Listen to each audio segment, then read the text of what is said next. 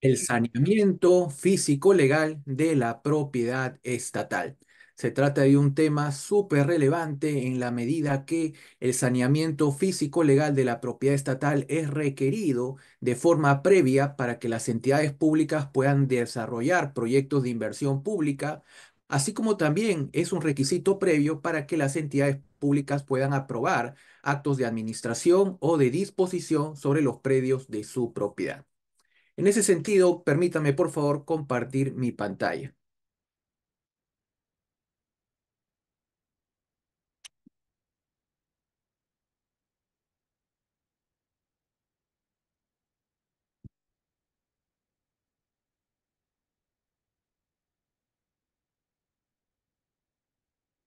Por favor, ¿me confirma que se visualiza correctamente la PPT? Sí, estimado doctor, sí se logra visualizar. Muchas gracias. Bien, antes de entrar de lleno a la temática del día de hoy, es necesario tener en cuenta el contexto bajo el cual se desenvuelve las distintas funciones que realiza el Estado en materia de saneamiento físico-legal. Al respecto, el Estado desarrolla funciones que pueden ser clasificadas en tres grandes bloques. En un primer bloque tenemos aquel saneamiento físico-legal que desarrolla el Estado a favor de los ciudadanos en ámbito urbano. Específicamente, la entidad competente es COFOPRI y en los casos que no intervenga puede desarrollar convenios conjuntamente con las municipalidades provinciales y distritales.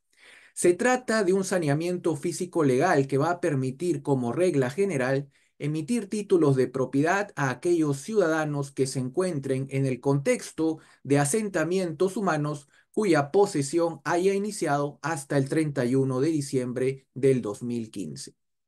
Luego tenemos un segundo bloque, en el cual el Estado también desarrolla un saneamiento físico-legal a favor de ciudadanos, pero en esta oportunidad en el contexto agrario. Es decir, van a ser los agricultores quienes se van a ver beneficiados mediante la formalización y titulación. Dentro de este bloque, quien es competente a nivel operativo para desarrollar estos trámites son los gobiernos regionales, a través de sus direcciones regionales agrarias. Y más bien es el Ministerio de Desarrollo Agrario y Riego, más conocido por sus siglas como MIDAGRI, quien hace las veces de ente rector en esta materia. Como podemos ver en los dos primeros bloques, quien es beneficiario del saneamiento físico legal son los ciudadanos. En el primer bloque, en el ámbito urbano, y en el segundo bloque, en el ámbito rural o agrario. Ahora más bien nos vamos a enfocar en la clase de hoy en un tercer bloque, en el cual el saneamiento físico-legal que desarrolla el Estado tiene como beneficiario el propio Estado y las entidades públicas que lo conforman. Es decir, vamos a desarrollar el marco legal central que va a permitir inscribir en los registros públicos el derecho de propiedad u otras situaciones jurídicas que beneficien o favorezcan al propio Estado peruano o a las entidades públicas que forman parte de él. Vamos a ver que es cada entidad pública la responsable de desarrollar los mecanismos conducentes a ejecutar dicho saneamiento físico-legal y va a ser la Superintendencia Nacional de Bienes Estatales, en su condición de ente rector del Sistema Nacional de Bienes Estatales, quien va a hacer las veces de ente rector en esta materia. Así queda entonces circunscrito la temática que abordaremos el día de hoy y también la siguiente clase. El saneamiento físico-legal que desarrolla el Estado a través de las entidades competentes en su propio beneficio, generando inscripciones registrales a favor del Estado y de las entidades públicas. Específicamente, los puntos que abordaremos en la clase de hoy son los siguientes.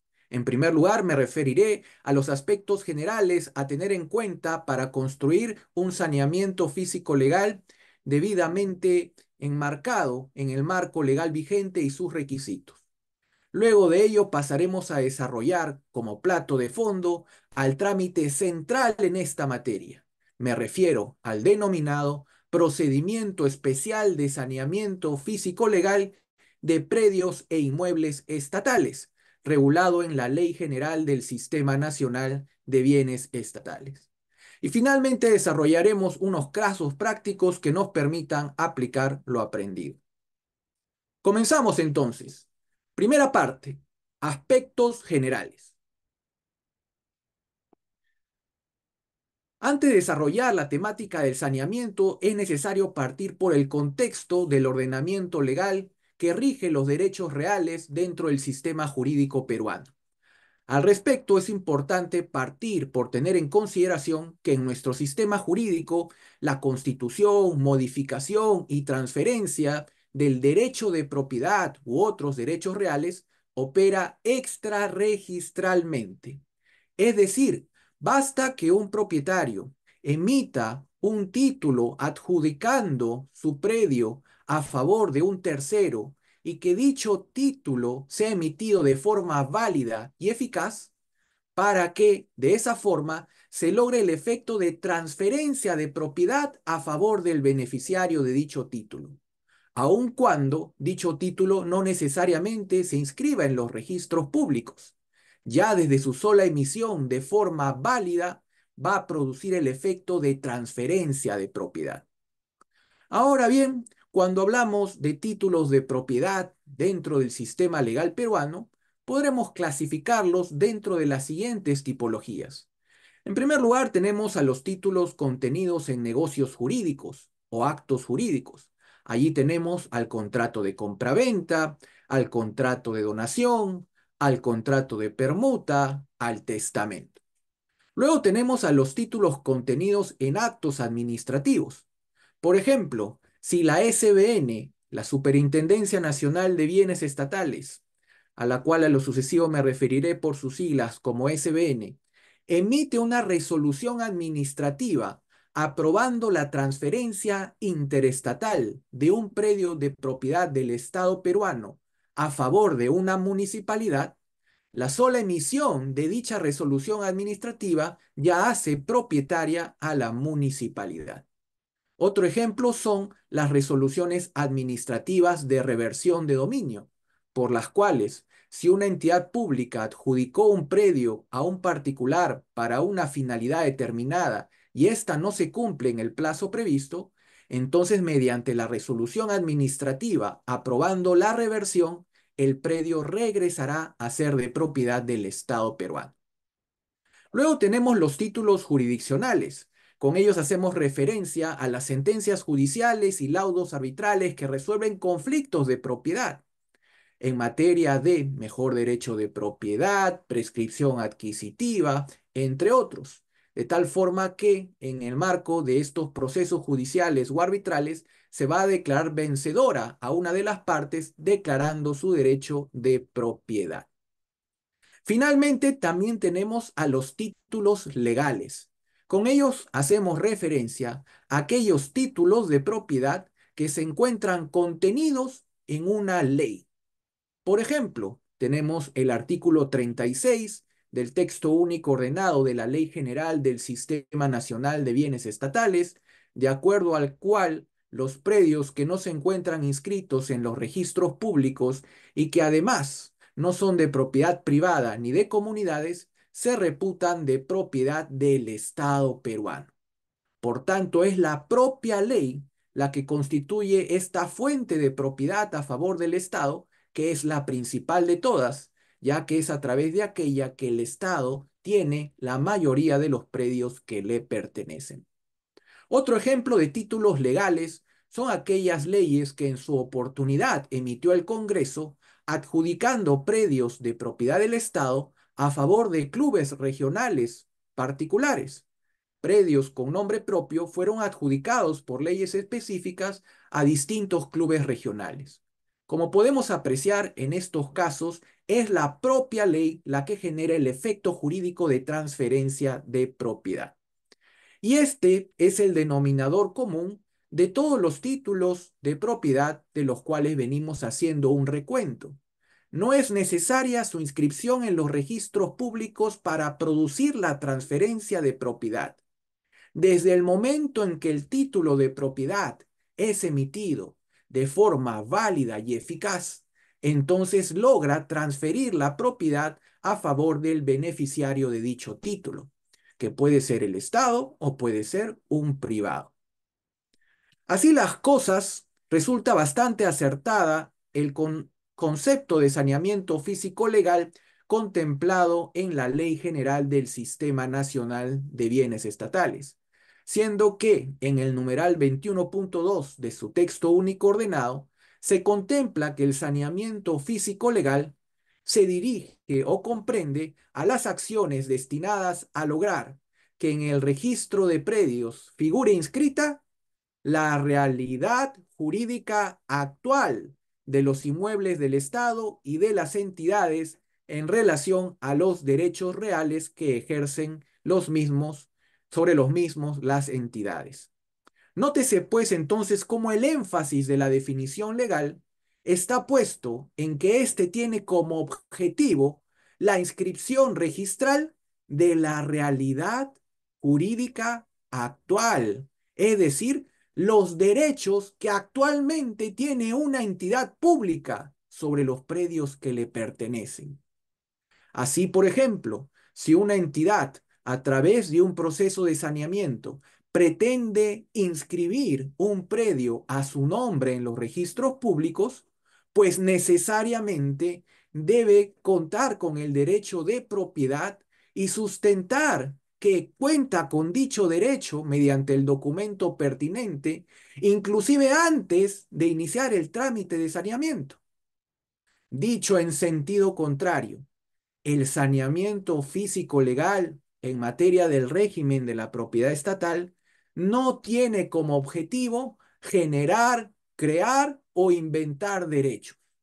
No tiene como objetivo inscribir en los registros públicos derechos de propiedad u otros derechos que las entidades públicas no tengan. Ejemplo, si una entidad pública cuenta con un derecho de afectación en uso sobre un predio, entonces no puede pretender mediante un procedimiento de saneamiento convertir su derecho de afectación en uso en un derecho de propiedad, como si fuera un acto de magia. Otro ejemplo, si una entidad pública solamente tiene la posesión de un predio estatal, entonces tampoco puede pretender lograr mediante un proceso de saneamiento inscribir un derecho de propiedad que no tiene. Y en tercer lugar, el saneamiento físico legal de la propiedad estatal tampoco sirve para convalidar actos nulos. Es recurrente la casuística por las cuales comunidades campesinas han aprobado actas de donación a favor de entidades públicas. ¿Será ese un acto jurídico válido? La donación, de acuerdo al Código Civil, debe ser necesariamente instrumentalizada mediante un contrato, no mediante un acta unilateral. Además, el Código Civil también establece que para que una donación sea válida, debe haber sido elevada a escritura pública. Número tres, si la donación ha sido otorgada por una comunidad campesina o nativa de sierra o selva, debe haber sido previamente aprobada por dos tercios de los miembros de la comunidad. Solamente si cumple con todos estos requisitos es que recién estaríamos ante un contrato de donación válida a favor de la entidad pública. Pero si solamente estamos ante un acta de donación, claramente es un acto jurídico inválido y que, por tal motivo, no ha logrado transferir la propiedad a favor de la entidad pública y es por ello que no merece o no amerita ningún proceso de saneamiento, ya que la entidad no ha adquirido ningún derecho de propiedad. Por todo lo anterior, el saneamiento físico legal de los predios estatales tiene como único objetivo la inscripción en los registros públicos de un derecho o una situación jurídica preexistente al propio inicio del trámite de saneamiento. Segunda parte, el procedimiento especial de saneamiento físico legal.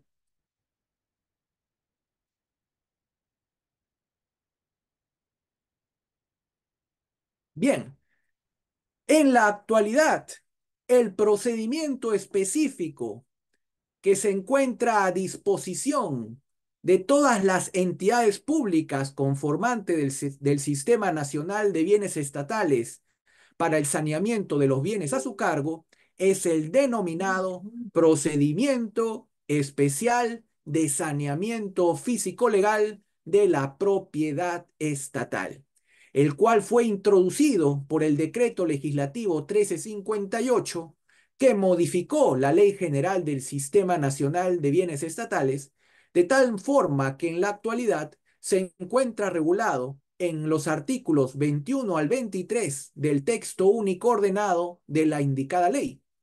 Allí vamos a encontrar la parte sustantiva de este procedimiento. Cuáles son las condiciones mínimas para poder aplicarlo, cuáles son los actos registrales que puedo lograr a través de él y cuáles son sus principales exclusiones. Complementariamente, vamos a encontrar en el reglamento de la Ley General del Sistema Nacional de Bienes Estatales, artículos 242 y siguientes, la parte procedimental de este trámite. Esto es, cada una de las etapas y acciones específicas que deben desarrollar las entidades públicas para poder ejecutar este procedimiento conforme al marco legal vigente. Pero antes de entrar al estudio detallado de este procedimiento, la pregunta pertinente que debemos formularnos es por qué una entidad pública debería acudir a este procedimiento especial de saneamiento físico legal. Es decir, teniendo las entidades públicas, como cualquier ciudadano, la posibilidad de inscribir sus derechos mediante el régimen registral ordinario contemplado en el Reglamento General de los Registros Públicos y el Reglamento General de la Propiedad. Entonces, ¿por qué tendría que acudir a este procedimiento especial de saneamiento físico-legal? La respuesta es que este procedimiento especial de saneamiento físico-legal va a permitir ciertas ventajas, de tal forma que va a permitir viabilizar la inscripción registral en casos en que ello no habría sido posible mediante un procedimiento registral ordinario. Ejemplos de ello. Si, por ejemplo, una entidad pública adquirió de Juan Pérez por un contrato de compraventa con firma de las partes el predio, dicho contrato de compraventa ya ha permitido que la entidad con su sola celebración se convierta en propietaria. Pero si pretendiera inscribirlo en los registros públicos bajo un procedimiento registral ordinario, lo más probable es que el registrador le diga un momentito, por el principio de titulación auténtica, si no has elevado tu contrato a escritura pública, no lo puedo inscribir. Por tanto, no podría inscribirse bajo un régimen registral ordinario. Pero ese mismo supuesto, bajo un procedimiento especial de saneamiento físico legal, sí va a poder merecer una inscripción registral. Vamos a ver cómo la entidad pública consignando en una declaración jurada que adquirió el predio mediante tal contrato de compraventa, va a poder lograr la inscripción registral a su favor. Otro ejemplo, si una entidad pública, por ejemplo, una, un ministerio, se encuentra eh, teniendo una oficina administrativa sobre un predio de propiedad del Estado. ¿Podría acaso inscribir algún derecho bajo un régimen registral ordinario? No podría porque el Código Civil establece que la posesión no es un acto inscribible. Sin embargo, bajo este procedimiento especial de saneamiento físico-legal, dicho supuesto sí podrá ameritar una inscripción de una constitución automática de afectación en uso a favor de la entidad, como desarrollaremos más adelante. Finalmente, dentro del régimen registral ordinario rige el principio registral del tracto sucesivo, de acuerdo al cual, si una entidad pública pretende inscribir un determinado acto de disposición a su favor, primero tiene que estar inscrito el derecho de propiedad de quien le otorgó el derecho. Pues bien, dentro del procedimiento especial de saneamiento físico legal, ese principio va a poder ser superado u obviado cuando la matriz sea de propiedad estatal. Estas son entonces algunas razones que quisiera compartir con ustedes de antemano para poder comprender cuál es la importancia, utilidad y razón de ser de este régimen del procedimiento especial de saneamiento físico legal de predios e inmuebles estatales, que, como podemos, como podemos apreciar, va a permitir la inscripción registral en supuestos en que ello no habría sido posible bajo un régimen registral ordinario. Dicho esto, vamos entonces al estudio de este régimen. Vamos a dividir la exposición y estudio de este régimen en dos partes. Primero veremos sus reglas sustantivas y luego veremos sus reglas procedimentales. Comencemos con la parte sustantiva. ¿Cuál es el presupuesto entendido como las condiciones mínimas que tienen que presentarse en un caso concreto para que una entidad pública pueda aplicar este régimen? Al respecto, una entidad pública podrá aplicar este procedimiento especial siempre y cuando se encuentre en alguno de los dos siguientes supuestos. Primer supuesto, cuando la entidad pública es propietaria del bien materia de saneamiento. Y es propietaria porque cuenta con un título de propiedad válidamente emitido a su favor, sea una compraventa, una donación, una permuta, una resolución de transferencia o cualquier otro permitido por el ordenamiento jurídico. Segundo supuesto, de repente la entidad pública no tiene un título de propiedad, pero sí tiene la posesión.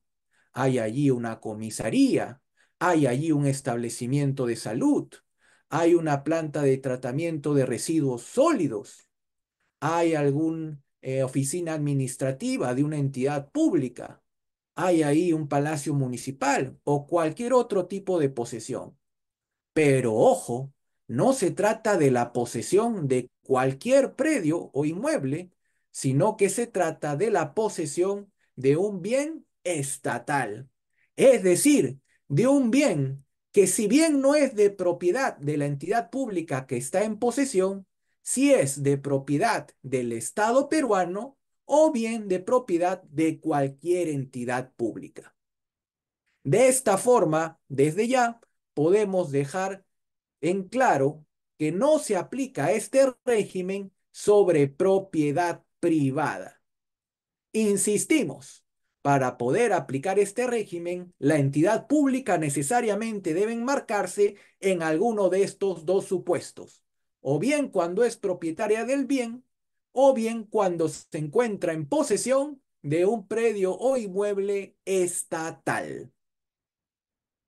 Exclusiones de este procedimiento. Hemos señalado ya que no se aplica sobre propiedad privada. Es por ello que tampoco se aplica sobre tierras y territorios de los pueblos indígenas u originarios, ni sobre tierras de propiedad o bajo posesión de las comunidades campesinas y nativas. Otra exclusión importante de este régimen son aquellos predios o inmuebles estatales que se encuentren siendo materia de un proceso judicial en el cual se cuestione la propiedad estatal. Por ejemplo, si sobre un predio de propiedad de un gobierno regional, Raúl Sánchez ha interpuesto una demanda de prescripción adquisitiva o una demanda de mejor derecho de propiedad o una demanda de reivindicación, en cualquiera de esos ejemplos, el gobierno regional se va a encontrar impedido de ejecutar un procedimiento especial de saneamiento físico legal, porque tendrá que respetar el fuero judicial, dentro del cual se viene dilucidando la controversia que se ha presentado. Bien, de lo que hemos visto hasta este punto, tenemos entonces que una entidad pública podrá aplicar el procedimiento especial de saneamiento físico-legal si es propietaria del bien o si es poseedora del bien estatal. Habiendo cumplido con alguno de estos supuestos, entonces podrá acogerse a este régimen del procedimiento especial de saneamiento. Y se acogería a él porque a través de este podría obtener una amplia lista de actos de saneamiento, que son los que vamos a ver a continuación. Tenemos resaltados en color rojo los más importantes, la primera inscripción de dominio y la asunción de titularidad a favor del Estado con constitución automática de afectación en uso a favor de la entidad que se encuentra en posesión, que por ser los más relevantes dedicaremos a ello una mayor atención dentro de unos minutos. Ahora más bien recapitulemos los otros. Literal B, la inscripción de dominio. La inscripción de dominio es el acto de saneamiento mediante el cual partimos de un predio que ya se encuentra inscrito en una partida registral, por ejemplo, a nombre de Rosa Pérez. Y respecto de este predio ya inscrito, la entidad pública pretende que se inscriba un nuevo asiento en dicha partida registral en el cual se publicite a la entidad pública como la nueva propietaria. Naturalmente, ello solamente sería posible si es que la entidad sustenta en el saneamiento en algún acto de disposición que hubiera otorgado Rosa Pérez a su favor. El literal B también contempla la aclaración de dominio, el cual resulta aplicable en los casos en que un predio estatal ya se encuentra inscrito en los registros públicos pero indebidamente a nombre de una unidad de organización. Por ejemplo, se inscribió a nombre de un órgano desconcentrado, una unidad ejecutora, una dirección regional, entre otros. Ejemplo, un predio estatal se inscribió a nombre de la Dirección Regional de Vivienda del Gobierno Regional de Lambayeque. De acuerdo a las reglas del Sistema Nacional de Bienes Estatales, es una inscripción indebida, porque quien es titular del derecho de propiedad y cualquier acto que se apruebe en el sistema son las entidades y no las unidades de organización que formen parte de aquella. Es por ello que en este caso el gobierno regional de Lambayeque podrá utilizar el procedimiento especial de saneamiento para aclarar en la partida que el verdadero propietario es el gobierno regional y no la Dirección Regional de Vivienda. Tenemos en el literal de la inscripción y o independización de áreas de aportes reglamentarios, vías u otras otorgadas a favor del Estado en procesos de habilitación urbana. ¿Cuál es el supuesto? El supuesto es que un particular, Ramón Paredes, propietario de un predio rústico antes de la entrada en vigencia de la ley vigente, la ley 29090, inició un proceso de habilitación urbana. Sin embargo, dicho procedimiento de habilitación urbana de su predio rústico nunca culminó como es debido mediante la recepción de obras e independización de los lotes. Sin embargo, en la actualidad, las áreas que estaban previstas de acuerdo al plano de la habilitación urbana para hacer aportes reglamentarios de recreación pública, salud, educación u otros, en los hechos funcionan como tales. Ante un supuesto como este, la entidad que administra dichos lotes podrá utilizar el procedimiento especial de saneamiento físico-legal para independizar el respectivo lote de la partida matriz que continúa a nombre del señor Paredes, independizándose el área como aporte reglamentario. Literal E, aclaración del destino de los aportes reglamentarios. Este literal hace referencia a aquellos supuestos en los cuales el aporte reglamentario sí se encuentra inscrito como tal en una partida registral sin embargo, debido a la fecha en que fue generado, antes de los años 70, de acuerdo a la legislación de la época, no se precisó cuál es el destino de dicho aporte reglamentario, si educación, salud, recreación pública u otros.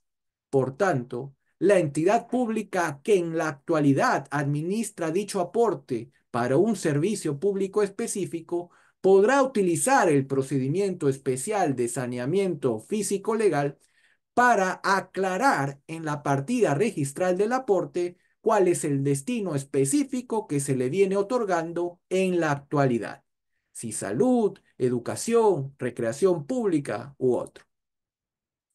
Literal F, inscripción, aclaración o rectificación de áreas, linderos y o medidas perimétricas, así como de sus coordenadas de corresponder. Se trata de un clásico acto de saneamiento cuando encontramos que los datos físicos del predio en su partida registral no corresponden a lo que se ha identificado en su realidad física, es decir, en la inspección de campo. Físicamente el predio tiene 100 metros cuadrados, pero en la partida registral figura 88. Entonces, la entidad pública propietaria titular registral podrá utilizar el procedimiento especial de saneamiento físico-legal para corregir la partida registral a fin de que pase a publicitar los datos físicos que se obtienen en la inspección física del predio. Literal G, declaratoria de fábrica. Este supuesto o acto de saneamiento se aplica en aquellos casos en los cuales se tiene un terreno inscrito a nombre de una entidad pública en una partida registral. Con el pasar de los años, la entidad pública construyó sobre el terreno alguna edificación, de tal forma que lo que ahora se busca es inscribir en la partida registral los datos o descripción de la edificación que se ha levantado sobre el terreno. A esto se llama declaratoria de fábrica. Literal H tenemos a la acumulación mediante la cual cuando se tienen dos o más partidas registrales a nombre de entidades, a nombre de una misma entidad pública respecto de predios que sean colindantes, entonces a través de la acumulación se van a poder unificar todas ellas en una sola partida registral que pase a publicitar la totalidad del área de las partidas preexistentes. Y mediante la independización es lo contrario. Si se tiene una partida registral a nombre de una entidad pública, va a poder extraerse una porción del ámbito de dicha partida con la finalidad de generarle su respectiva partida registral independizada.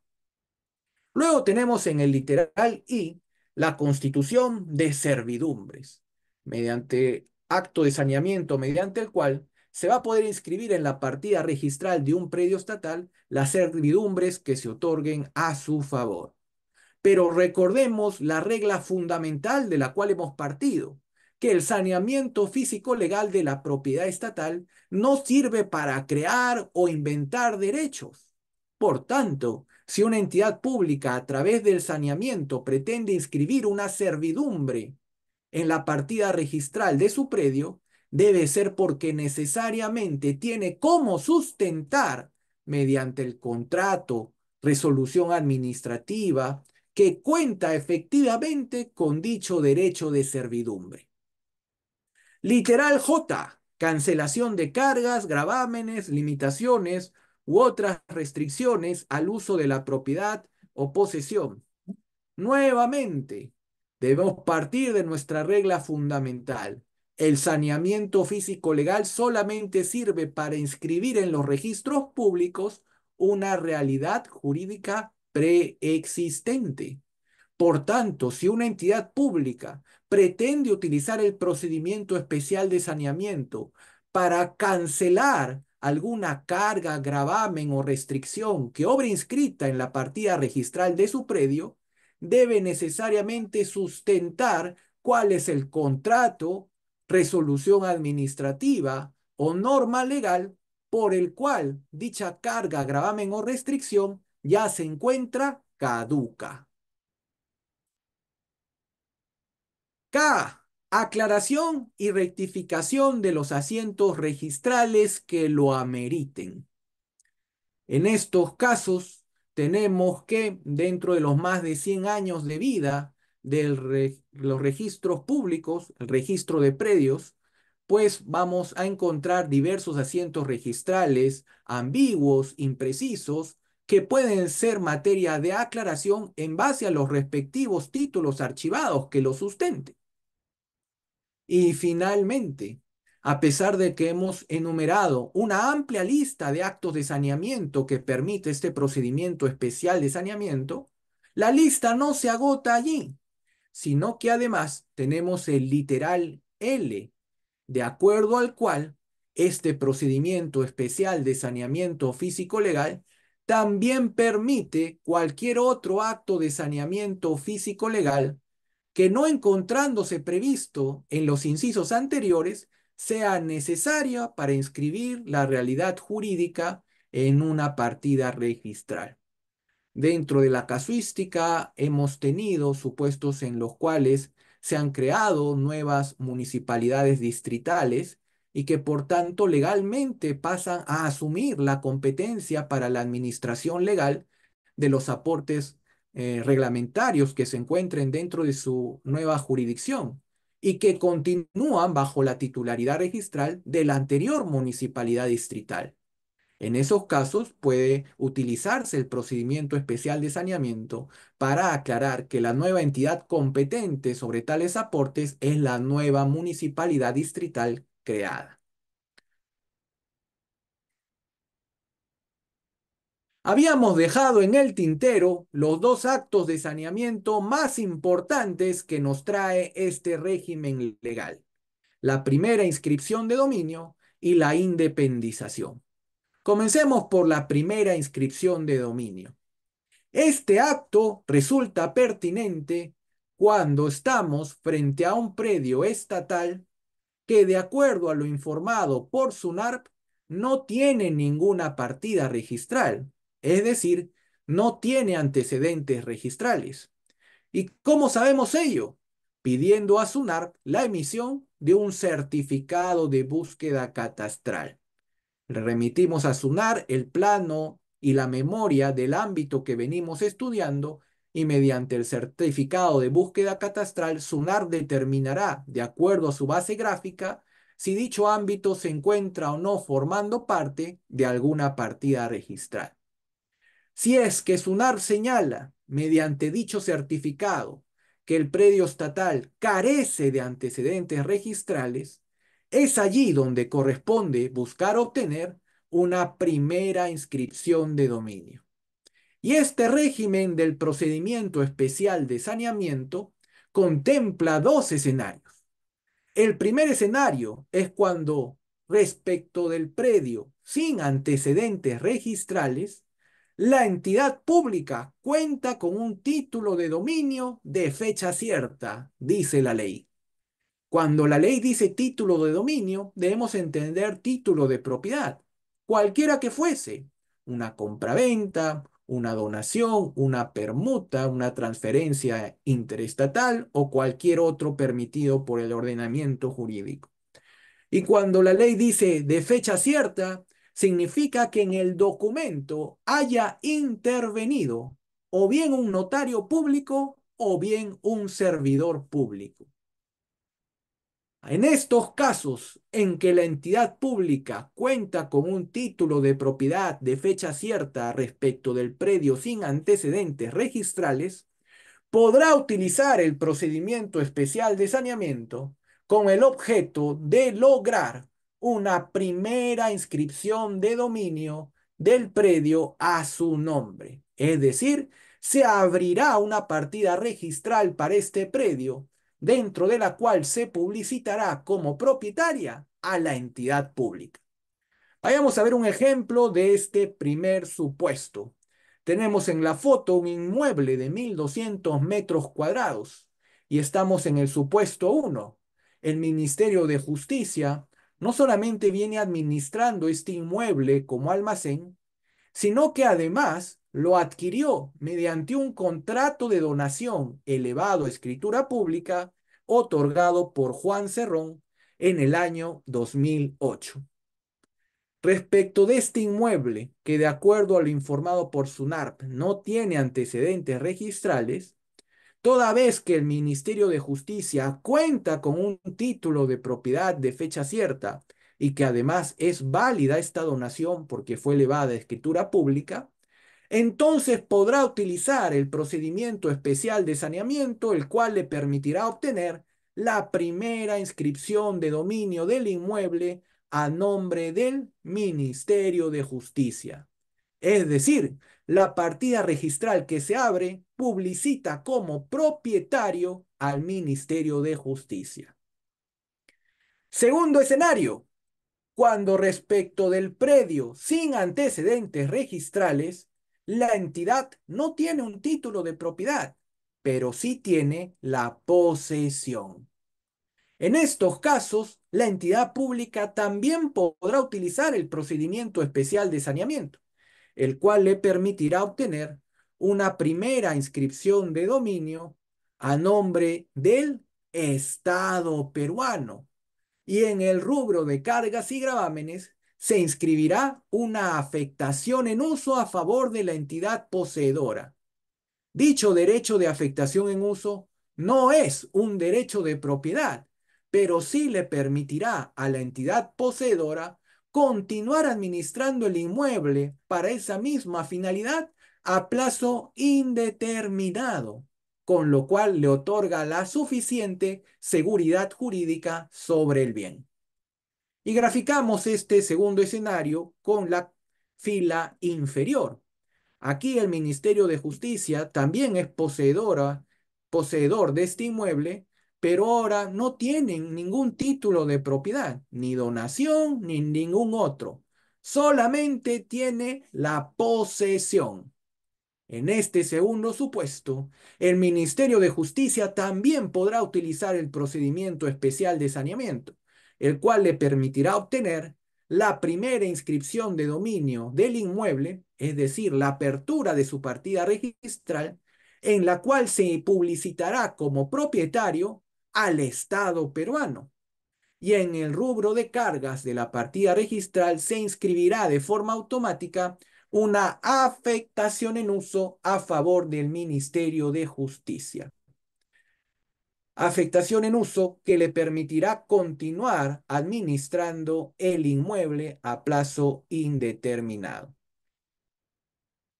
Habíamos dejado en el tintero el otro acto de saneamiento, la independización, acto que resulta pertinente cuando el bien estatal que venimos evaluando, de acuerdo a lo informado por SUNARP en el certificado de búsqueda catastral, resulta que forma parte de una partida registral de mayor extensión, razón por la cual corresponde extraer la porción del predio que venimos evaluando a fin de generarle una partida registral independizada. Y aquí nuevamente pueden presentarse dos grandes escenarios. El primer escenario es cuando la entidad pública, respecto del bien, cuenta con un título de dominio de fecha cierta. En estos casos, la entidad pública podrá utilizar el procedimiento especial de saneamiento para poder independizar el predio objeto de su título de propiedad, generándose una partida registral independizada a nombre de la entidad pública. Pero debemos tener en cuenta lo siguiente. Si la partida respecto de la cual se pretende efectuar la independización estuviera inscrita a nombre de particulares, entonces debe cumplirse con el principio registral de tracto sucesivo. ¿En qué sentido? En el sentido de que el título de propiedad con el que cuenta la entidad y que sustenta el saneamiento y la independización debe haber sido necesariamente otorgado por el privado que figura como titular registral. Por el contrario, si la partida registral respecto de la cual se pretende la independización estuviera inscrita a nombre del Estado o de entidades públicas, la ley establece que ya no sería necesario cumplir con el principio registral de tracto sucesivo. ¿En qué sentido? En el sentido de que el título de propiedad con el que cuenta la entidad y que sustenta el saneamiento y la independización no tiene que necesariamente haber sido otorgado por la entidad pública que figura como titular registral. Aquí tenemos un ejemplo para graficar lo expuesto.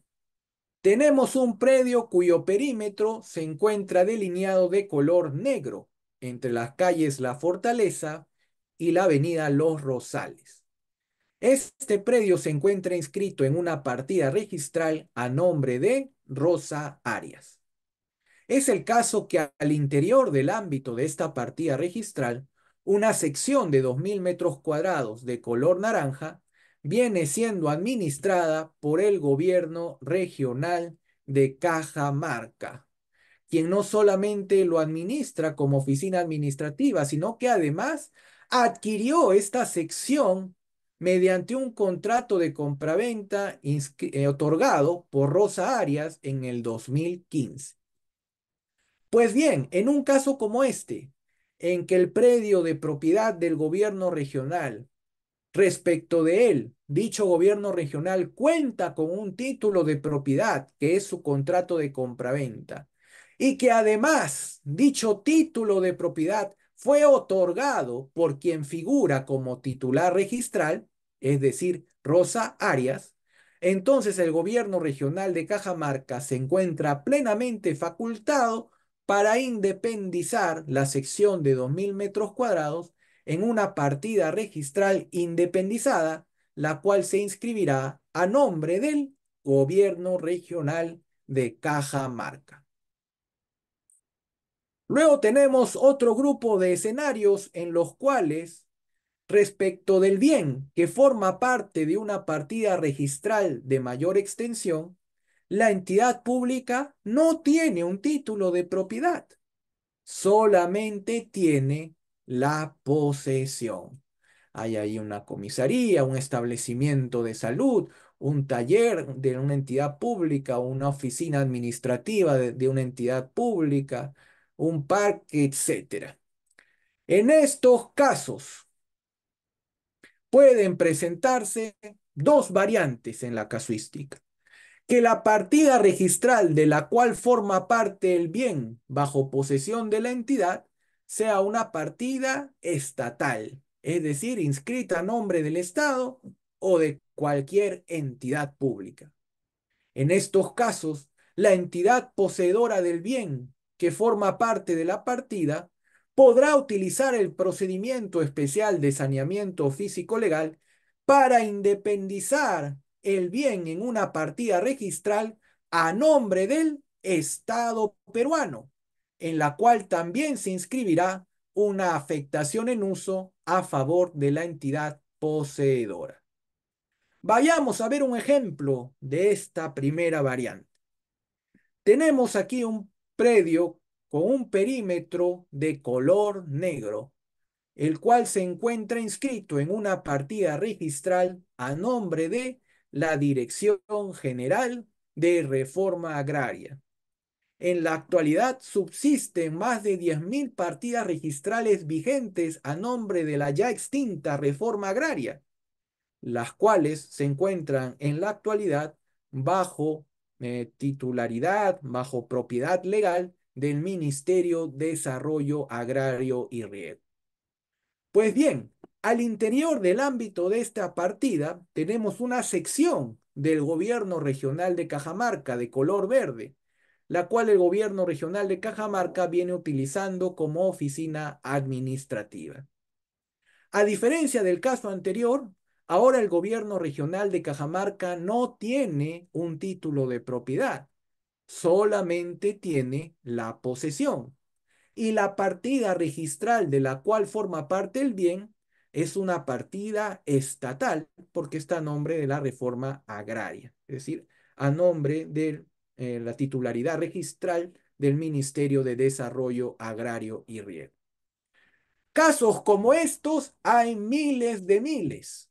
en los cuales entidades públicas, por error de diagnóstico, por falta de diligencia, por desidia, por X motivos, resulta que construyeron y vienen funcionando sobre predios que no son suyos, son predios de propiedad de otra entidad pública.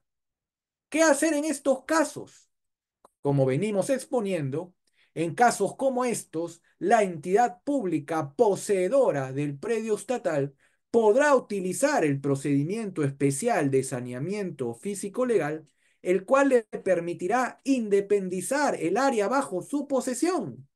Es decir, esta sección de 2.000 metros cuadrados podrá ser independizada en una partida registral independiente en la que se publicitará como propietario al Estado peruano y de forma automática en el rubro de cargas se inscribirá una afectación en uso a favor del gobierno regional de Cajamarca para que pueda continuar administrando el inmueble.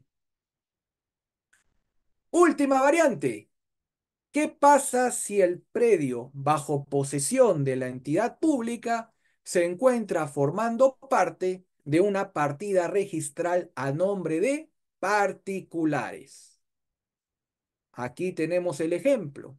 Nuevamente, el gobierno regional de Cajamarca, que puede ser cualquiera de las entidades que ustedes representan, se encuentra en posesión de una oficina administrativa que a su vez forma parte de una partida registral inscrita a nombre de Juan Peláez.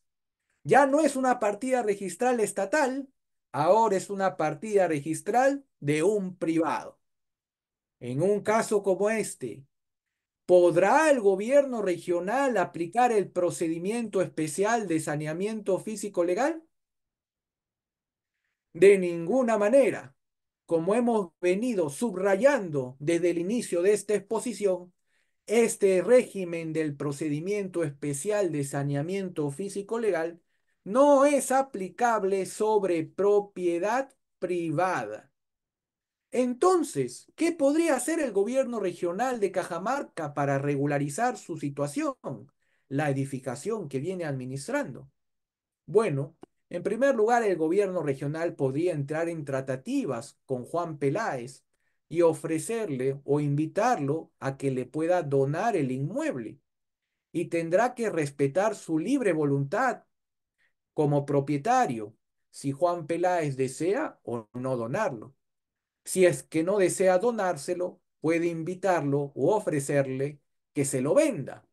Y nuevamente Juan Peláez, dentro de su libre voluntad como propietario, podrá eh, decidir si es que se lo vende o no al gobierno regional de Cajamarca.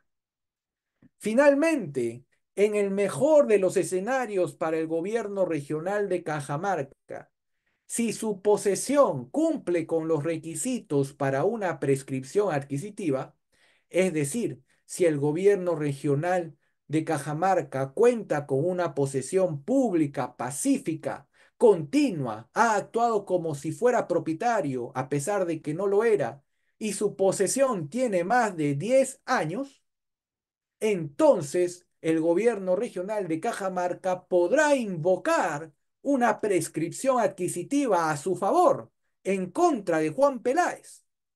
Pero dicha prescripción adquisitiva tendría que tramitarse en la vía notarial o en la vía judicial, pero no a través de un procedimiento especial de saneamiento físico legal. Hasta aquí hemos visto la parte sustantiva de este procedimiento. Hemos revisado cuáles son las condiciones mínimas para poder aplicarlo, hemos visto cuáles son sus exclusiones y vamos, hemos visto cuáles son los actos de saneamiento que podemos lograr a través de este régimen.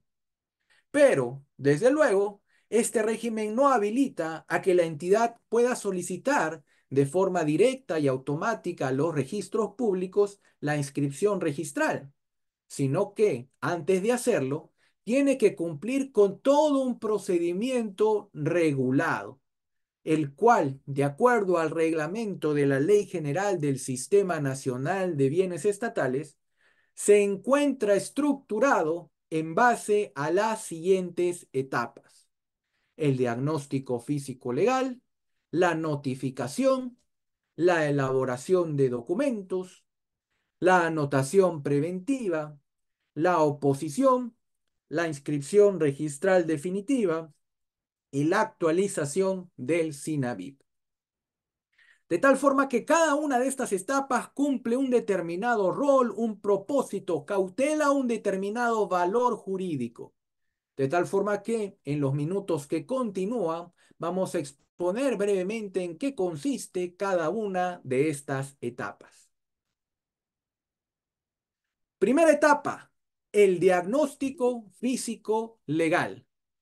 En esta primera etapa, la entidad pública identifica el bien cuyo diagnóstico va a iniciar y en tal medida comienza a recopilar y a generar toda la información y documentación pertinente que le sirva para poder dilucidar cuál es la situación jurídica y física del bien que viene evaluando. Así, por ejemplo, si la entidad no está segura si el predio cuenta o no con alguna partida registral, entonces deberá solicitar a SUNAR un certificado de búsqueda catastral. Si de acuerdo al certificado de búsqueda catastral, este arroja que el predio se encuentra inscrito en una partida registral, entonces procederá a hacer lectura de la partida registral actualizada. Hoy por hoy, como sabemos, SUNARP ha, dispuesto ha puesto a disposición de toda la ciudadanía la visualización de las partidas registrales completas en tiempo real a través de su página web en su módulo Conoce aquí. Luego de ello, respecto de los asientos registrales más importantes, corresponderá solicitar el título archivado. Además, en caso existiera duda y si el área forma parte o no de alguna tierra de una comunidad campesina o nativa, corresponderá hacer la consulta respectiva a la Dirección Regional Agraria de la zona. Si hubiere duda si el área forma parte de una zona arqueológica, corresponderá hacer la consulta al Ministerio de Cultura. Si hubiera alguna duda respecto si el área forma parte o no de una faja marginal, corresponderá hacer la consulta a la, a la Autoridad Nacional del Agua. Y así sucesivamente, todo en función a los indicios que se vayan encontrando en el caso concreto. Por su parte, también resulta necesario realizar una inspección técnica al predio con la finalidad de poder conocer e identificar sus coordenadas, su área, sus linderos, sus colindancias, si tiene o no ocupantes, si tiene o no edificaciones, cuál es su naturaleza superficial, entre otros. Todo este diagnóstico legal debe ser plasmado en un informe técnico legal emitido por la entidad, bajo el formato de informe técnico legal que ha aprobado la SBN de forma oficial. Y este informe técnico legal debe responder a asuntos claves, como los siguientes. ¿Quién es el propietario del predio? ¿Cuál es su situación registral? ¿Cuáles son las cargas, limitaciones o regímenes especiales que afecten al predio? ¿Tiene ocupantes o no los tiene? ¿Cuál es su área, linderos, coordenadas, entre otros? De tal forma que estos aspectos deben ser dilucidados y finalmente plasmados en la conclusión del informe. Y en función a las características de cada caso en concreto, corresponderá recomendar en el informe el acto de saneamiento que corresponda. Si, por ejemplo, se trata de un predio sin antecedentes registrales, corresponderá recomendar una primera inscripción de dominio. Si más bien se trata de un predio que forma parte de una partida registral de mayor extensión, corresponderá recomendar una independización. Si se trata de un predio cuya partida registral arroja datos físicos que son distintos a los encontrados en la inspección técnica, corresponderá recomendar una rectificación de áreas, linderos y medidas perimétricas. Y así sucesivamente. Todo depende del caso en concreto. La siguiente etapa es la notificación. Y este régimen legal, a diferencia del precedente y ya derogado Decreto Supremo 130-2001F, más bien nos trae importantísimas novedades en este aspecto. Para empezar, se establece que cuando se busca obtener, cuando se realiza el procedimiento especial de saneamiento físico legal para buscar obtener alguno de los cuatro siguientes actos de saneamiento, no se requerirá notificación personal a nadie, ni notificación por publicación, ni anotación preventiva, sino de frente, luego de la declaración jurada, corresponderá una inscripción registral definitiva. ¿Cuáles son esos cuatro actos de saneamiento? La aclaración de dominio, la aclaración del destino de los aportes reglamentarios, la declaratoria de fábrica y la independización o acumulación sin cambio de titularidad. ¿Por qué? porque en estos cuatro actos de saneamiento, por su naturaleza, no tienen la potencialidad de afectar ni interesar a nadie más que a la entidad que efectúa el saneamiento. Es por ello que, repito, cuando se utiliza el procedimiento especial de saneamiento para buscar obtener alguno de estos cuatro actos de saneamiento, no se requiere efectuar notificación personal a nadie, ni notificación por publicación, ni anotación preventiva, sino que luego de emitida la declaración jurada, podrá solicitarse de forma directa a los registros públicos la inscripción registral definitiva. Ahora bien, ¿qué pasa cuando se utiliza el procedimiento especial de saneamiento para buscar obtener algún acto de saneamiento distinto a los cuatro ya mencionados? De ser así, corresponde que identifiquemos si en el caso concreto el posible afectado se encuentra determinado o más bien se encuentra indeterminado. Vayamos a poner un ejemplo que habíamos visto minutos atrás. Este era el caso en el cual el gobierno regional de Cajamarca se encontraba en posesión de una sección de 2.000 metros cuadrados que formaba parte de una partida registral a nombre de la ya extinta Reforma Agraria, hoy por hoy Ministerio de Desarrollo Agrario y Riego. Y por tanto, lo que buscaría el gobierno regional a través del trámite de saneamiento es una independización a favor del Estado con una afectación en uso a favor del gobierno regional. En un caso como este, claramente los efectos del saneamiento impactarían en los intereses del Ministerio de Desarrollo Agrario y Riego, en la medida de que la futura independización que se pretende va a implicar un recorte del área de la partida registral a nombre de la reforma agraria.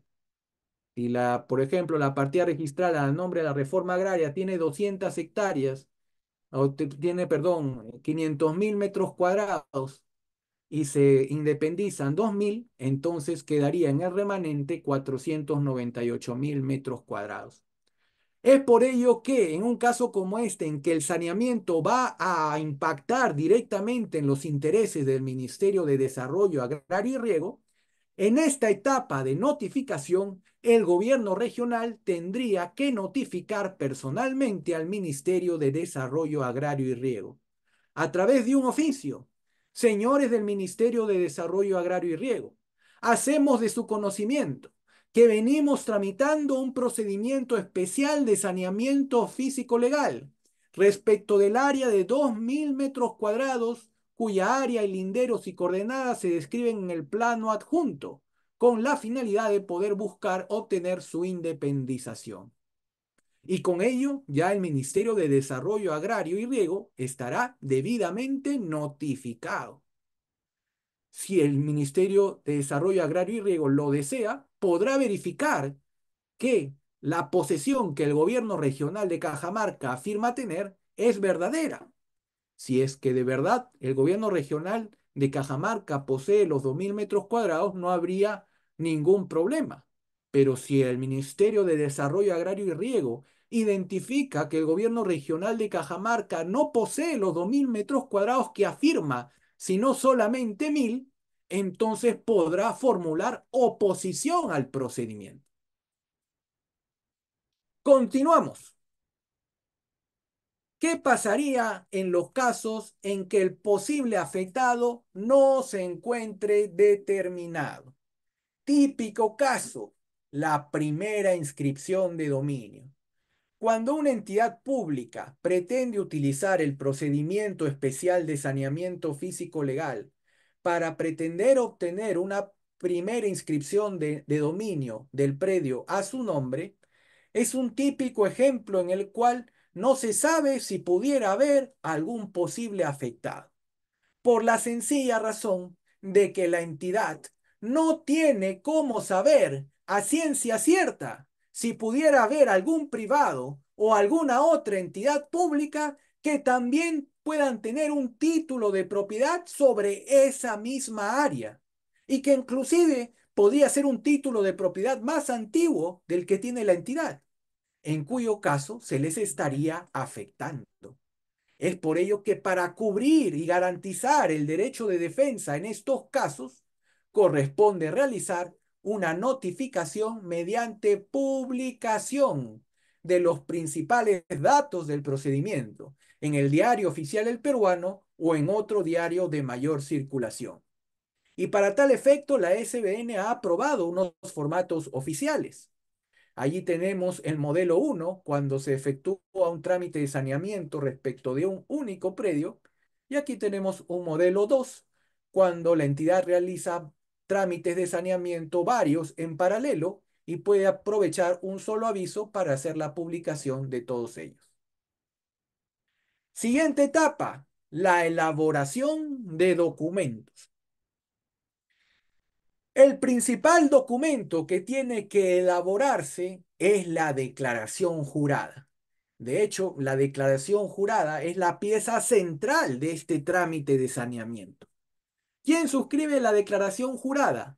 El jefe o un especialista de la unidad de organización dentro de la entidad competente para gestionar o sanear los predios de la entidad. ¿Qué se debe expresar en la declaración jurada? Cuando se utiliza el procedimiento especial de saneamiento físico legal para buscar inscribir un derecho, por ejemplo, típico caso, el derecho de propiedad, entonces, en la declaración jurada, el servidor público debe expresar que la entidad cuenta con dicho derecho e indicar cuál es el título en mérito del cual ha adquirido dicho derecho. Por ejemplo, si el Ministerio de la Mujer pretende realizar una primera inscripción de dominio de un predio que adquirió por compraventa, eh, por compraventa, entonces en la declaración jurada habrá de expresar, el Ministerio de la Mujer es propietaria del predio de 825 metros cuadrados descritos en el plano adjunto, ubicados a la altura del kilómetro 42 de la carretera Los Faisanes, por haberlo adquirido en mérito al contrato de compraventa otorgado por Felipe Palomino el 12 de octubre del 2009. Así, con ese grado de especificidad, debe indicarse el título de propiedad del cual emana el derecho de propiedad que pretende sanear. Esto es así en la medida de que ese contrato de compraventa no va a ir en la rogatoria a los registros públicos, porque justamente lo que estamos enfrente es un trámite de saneamiento que pretende superar los posibles defectos formales, pero no de fondo, de dicho título de propiedad. Es por ello que lo único que va a ir a los registros públicos es la declaración jurada acompañada de los documentos técnicos que correspondan. De tal forma que el registrador y el régimen legal van a confiar en la veracidad y exactitud de la información que exprese el servidor público en la declaración jurada. De otro lado, hemos visto durante la clase que este procedimiento especial de saneamiento no necesariamente se sustenta en un título de propiedad. Hemos visto que también puede sustentarse en la sola posesión de un predio estatal. Por ejemplo, si el gobierno regional de Huancavelica tiene una sede administrativa sobre un área sin antecedentes registrales, entonces puede buscar obtener la primera inscripción de dominio a favor del Estado con una afectación en uso a favor del gobierno regional de Huancavelica. Para dicho propósito, en la declaración jurada, en la cual el saneamiento se sustente en la sola posesión de un predio estatal, el gobierno regional de Huancavelica simplemente tendría que afirmar el gobierno regional de Huancavelica se encuentra en posesión del inmueble de 827 metros cuadrados ubicado en la calle tal número tanto, destinándolo a oficina administrativa. Además de los datos referentes a el título de propiedad que debe ser indicado o en su caso la posesión que sustenta el saneamiento, también debe indicarse en todos los casos en la declaración jurada que el bien estatal no se encuentra siendo materia de un proceso judicial que cuestione la propiedad estatal, ya que, según vimos al inicio, este es un requisito para poder aplicar el trámite de saneamiento. Finalmente, en la declaración jurada, el servidor público también debe consignar que efectuó la notificación personal o la notificación por publicación en el diario, estableciendo o indicando la fecha de publicación o la fecha de notificación personal. Mm, estos son entonces los datos que debe contener la declaración jurada. Adicionalmente, también deberá elaborarse la documentación técnica que resulte pertinente si se busca una primera inscripción de dominio, corresponderá elaborar el plano perimétrico, ubicación y la memoria descriptiva. Si se busca una independización, deberá elaborarse el plano y la memoria tanto del área a independizar como del área que quedará remanente. Si se pretende una declaratoria de fábrica, deberá elaborarse el plano y memoria de distribución. En suma, todo depende del caso en concreto. Siguiente etapa, la anotación preventiva. Una vez que ya se cuenta con la declaración jurada, acompañada por la documentación técnica que corresponda, se deberá solicitar a los registros públicos una anotación preventiva del acto de saneamiento que se viene efectuando. Como su nombre lo dice, es una inscripción registral preventiva, provisoria, preparatoria, una antesala a la futura inscripción registral definitiva que es nuestro verdadero objetivo. La anotación preventiva del acto de saneamiento en la partida registral más bien tiene como objetivo el de servir como un mecanismo adicional de publicidad, de tal forma que cualquier persona o entidad que toma contacto con la partida registral podrá tomar conocimiento que sobre dicho bien viene efectuándose un procedimiento especial de saneamiento. Siguiente etapa. ¿Qué pasa si cualquier sujeto, sea persona natural, persona jurídica o entidad pública, que haya tomado conocimiento del procedimiento especial de saneamiento a través de cualquier medio, sea por la notificación personal, sea por la notificación en el diario, sea por la anotación preventiva, y considere que el trámite de saneamiento le está afectando indebidamente en alguno de sus derechos, tendrá la oportunidad de impugnar el trámite de saneamiento a través de la formulación de una oposición. Esta oposición tiene un plazo. El plazo es de 30 días hábiles, contados desde que se efectuó la notificación personal o desde que se efectuó la notificación mediante publicación en el diario. ¿Cómo se tramita esta oposición? De ser el caso que quien se considere afectado sea una entidad pública, entonces la entidad pública formulará su oposición ante la entidad que tramita el saneamiento. La entidad que tramita el saneamiento se verá obligada entonces a remitir todo el expediente de saneamiento, incluyendo la oposición presentada a la SBN, con la finalidad de que la SBN, en su condición de ente rector y a través de su órgano de revisión de la propiedad estatal, resuelva el conflicto que se ha suscitado entre las dos entidades públicas, verificando y determinando si el trámite de saneamiento tiene o no tiene sustento legal. Y en función a ello, la SBN emitirá una resolución administrativa disponiendo la inscripción registral a favor de la entidad que corresponda. Por su parte, ¿qué pasa si quien se siente afectado con el trámite de saneamiento que efectúa la entidad pública sea un particular? En estos casos, punto número uno, corresponde que el particular interponga una demanda ante el Poder Judicial para hacer valer su derecho presuntamente conculcado por el trámite de saneamiento. Punto número dos. El particular deberá formular su oposición ante la entidad que tramite el saneamiento, adjuntando el cargo de la interposición de la demanda. Número tres. El particular deberá acreditar que la demanda ha sido admitida a trámite. Y con ello ya la entidad pública que tramita el saneamiento se verá obligada a detener el procedimiento de saneamiento, a archivar el expediente, solicitar la cancelación de la anotación preventiva.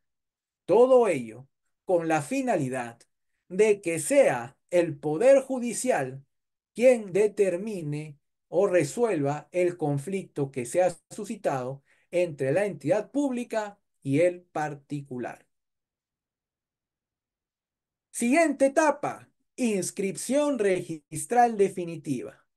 Si hubiere transcurrido el plazo de 30 días hábiles, contado desde la notificación personal o la notificación mediante publicación, y no se hubiere presentado ninguna oposición ante la entidad que tramita el saneamiento, entonces la entidad se encontrará facultada a solicitar a los registros públicos la conversión de la anotación preventiva en inscripción registral definitiva. Para tal efecto, únicamente tiene que eh, precisar al registrador cuál es el código CUS que tiene el predio estatal. El código CUS es el código que tiene cada predio estatal dentro del Sistema de Información Nacional de Bienes Estatales que administra la SBN, más conocido como SINABIP.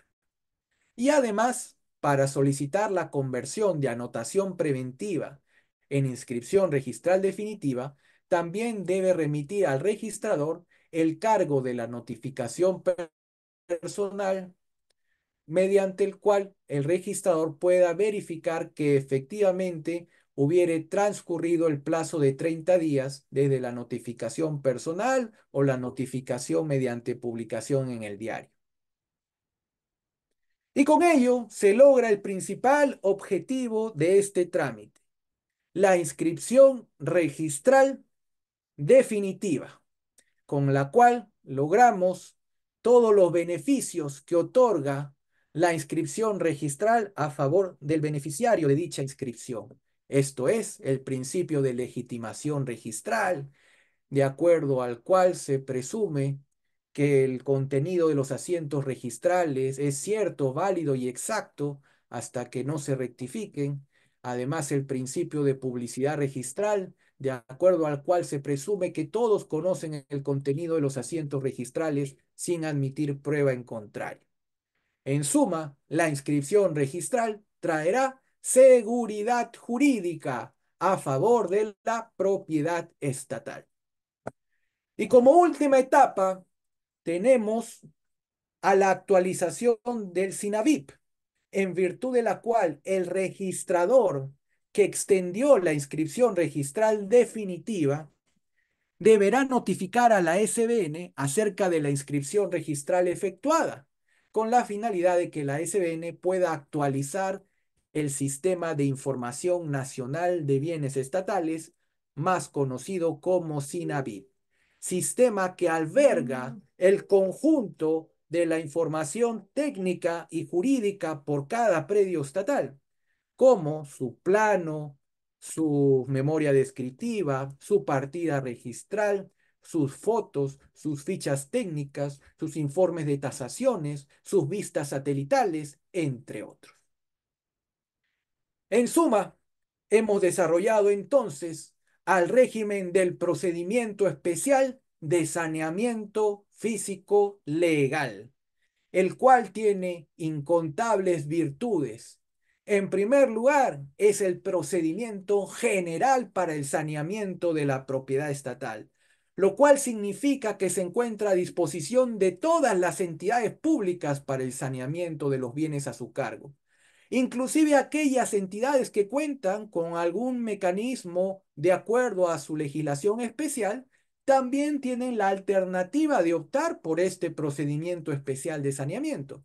Es el caso de las municipalidades, las cuales encuentran en su ley orgánica un mecanismo para lograr la inscripción registral mediante acuerdo de consejo. Nada impide que puedan optar en su lugar por este procedimiento especial de saneamiento en los casos en que las circunstancias así lo ameriten. También tenemos el caso de las instituciones educativas públicas, las cuales también cuentan con un régimen especial para su saneamiento, la Ley 31.318. Nuevamente, nada impide que el Ministerio de Educación pueda optar por este procedimiento especial de saneamiento físico-legal, que es el régimen general.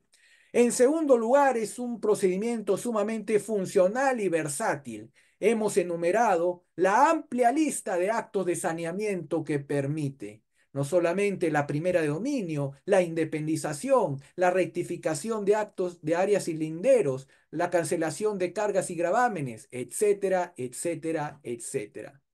En tercer lugar, es un procedimiento económico. De acuerdo a su actual configuración, tenemos que la publicación en el diario ha dejado de ser una regla general para más bien pasar a ser una regla excepcional, solamente cuando el posible afectado no se encuentre determinado. En suma, se trata de un procedimiento sumamente moderno a disposición de las entidades públicas para el debido saneamiento de su portafolio predial. Bien, antes de desarrollar unos casos prácticos que nos permitan aplicar lo aprendido, vamos a tomar un break de tres minutos. Nos vemos dentro de tres minutos. Bien, estimados participantes, vamos a tomarnos un receso, un break de tres minutos, de tres minutos como lo ha indicado el ponente.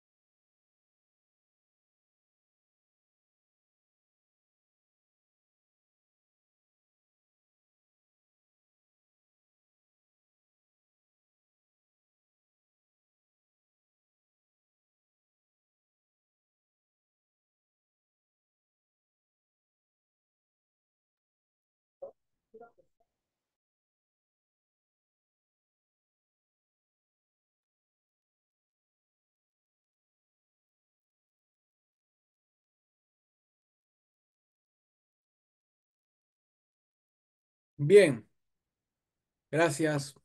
Nos podemos entonces reconectar a la clase. Y a continuación vamos a desarrollar algunos casos que nos permitan aplicar lo aprendido. Primer casito. En el año 2005, el señor Donato García celebró un contrato de donación elevado a escritura pública de un terreno de 800 metros cuadrados a favor de la Dirección Regional de Turismo del Gobierno Regional de Huancavelica. El indicado predio nunca fue inscrito en el registro de predios. En este caso, partimos de la premisa de que el señor Donato García era el propietario de este predio. Quizás lo adquirió por una titulación del PET, quizás por una titulación de la Dirección de Reforma Agraria, quizás se lo vendió la municipalidad en, vez, en base a un marco legal anterior, pero partimos de la premisa de que el año 2005 el señor Donato García era propietario. Y en ese contexto otorgó un contrato de donación elevado a escritura pública respecto del terreno de su propiedad a favor de la Dirección Regional de Turismo del Gobierno Regional de Huancavelica. Pero el indicado predio nunca fue inscrito en el registro de predios, ni a favor del señor Donato, ni a favor de nadie. Primera pregunta para ustedes, ¿quién es el propietario del predio? Si gustan pueden escribir por el chat o si gustan pueden tomar el micrófono diciendo su nombre y su opinión.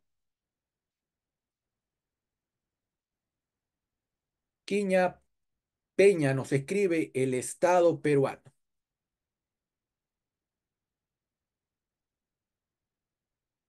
¿Todos están de acuerdo con Freddy? André Medina nos dice el señor Donato.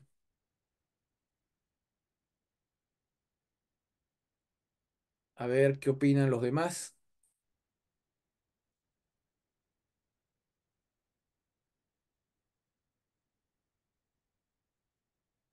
Bien, habíamos partido la premisa entonces de que en el año 2005 el señor Donato era el propietario.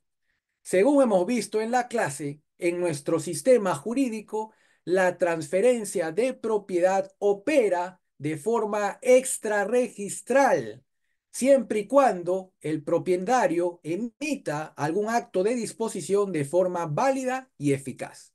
En este caso, el entonces propietario, Donato García, de acuerdo al caso, otorgó un contrato de donación y cumpliendo con el requisito de validez del Código Civil, lo elevó a escritura pública.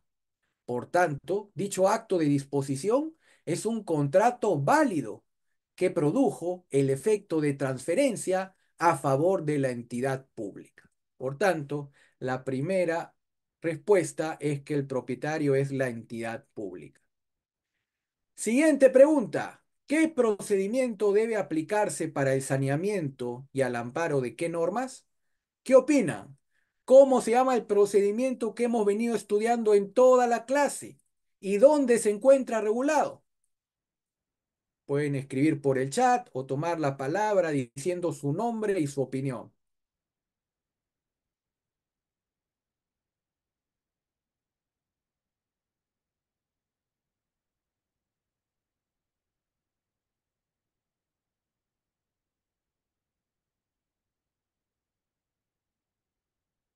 El régimen general que permite el saneamiento de la propiedad estatal a favor de todas las entidades públicas se llama procedimiento especial de saneamiento físico legal de predios e inmuebles estatales, regulado en la Ley General del Sistema Nacional de Bienes Estatales y su reglamento. Siguiente pregunta. En este caso concreto, si el gobierno regional va a utilizar el procedimiento especial de saneamiento, ¿qué acto registral específico debe buscar obtener? ¿Cuál de todos los actos registrales que hemos visto en la clase debe buscar obtener la entidad pública? ¿Qué opinan?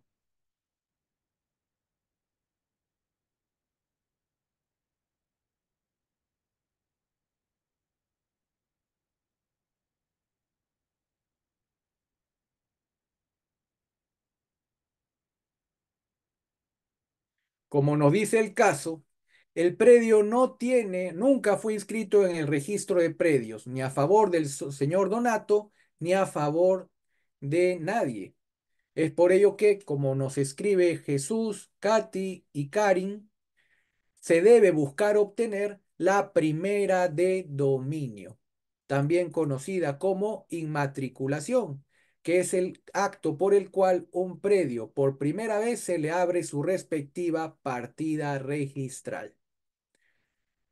Pregunta número cuatro. En este caso, cuando la entidad desarrolle su procedimiento especial de saneamiento físico legal para buscar obtener la primera inscripción de dominio, ¿qué debería indicar en la declaración jurada?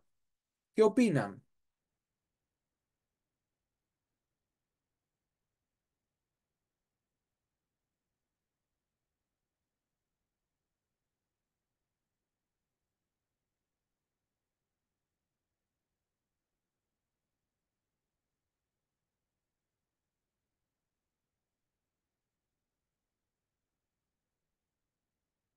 En la declaración jurada, el jefe o el especialista legal del gobierno regional a cargo de la gestión de predios estatales deberá expresar, como dice Jesús en el chat, que la entidad pública es propietaria del predio por haberlo adquirido en mérito al contrato de donación elevado a escritura pública otorgado en el año 2005, 12 de febrero, por Donato García. En segundo lugar, en la declaración jurada deberá expresarse que se cumplió con haber efectuado la publicación en el diario, por ejemplo, La República, con fecha 12 de febrero del 2024. Y en tercer lugar, deberá consignarse que el predio materia de saneamiento no viene siendo materia de ningún proceso judicial que cuestione la propiedad estatal. Siguiente pregunta. En este trámite de saneamiento, la pregunta es general. ¿Admite que algún privado o alguna entidad pública pueda formular oposición? ¿O no hay posibilidad de oposición por parte de terceros?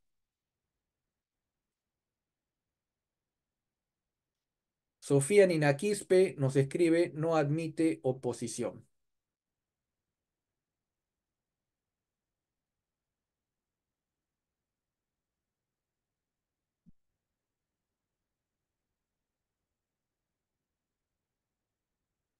Como hemos visto en clase, el procedimiento, el régimen legal de este trámite sí admite una etapa de oposición abierta para que cualquier sujeto, sea persona natural o entidad pública que se considere afectado con el trámite, puede impugnarlo a través de su oposición.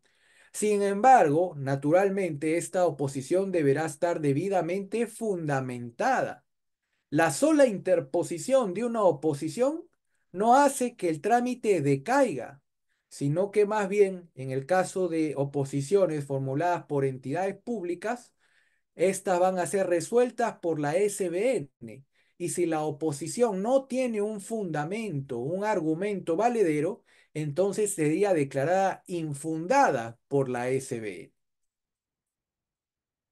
Siguiente pregunta. En este casito, la primera inscripción de dominio que se pretende obtener, ¿a favor de quién se debe inscribir?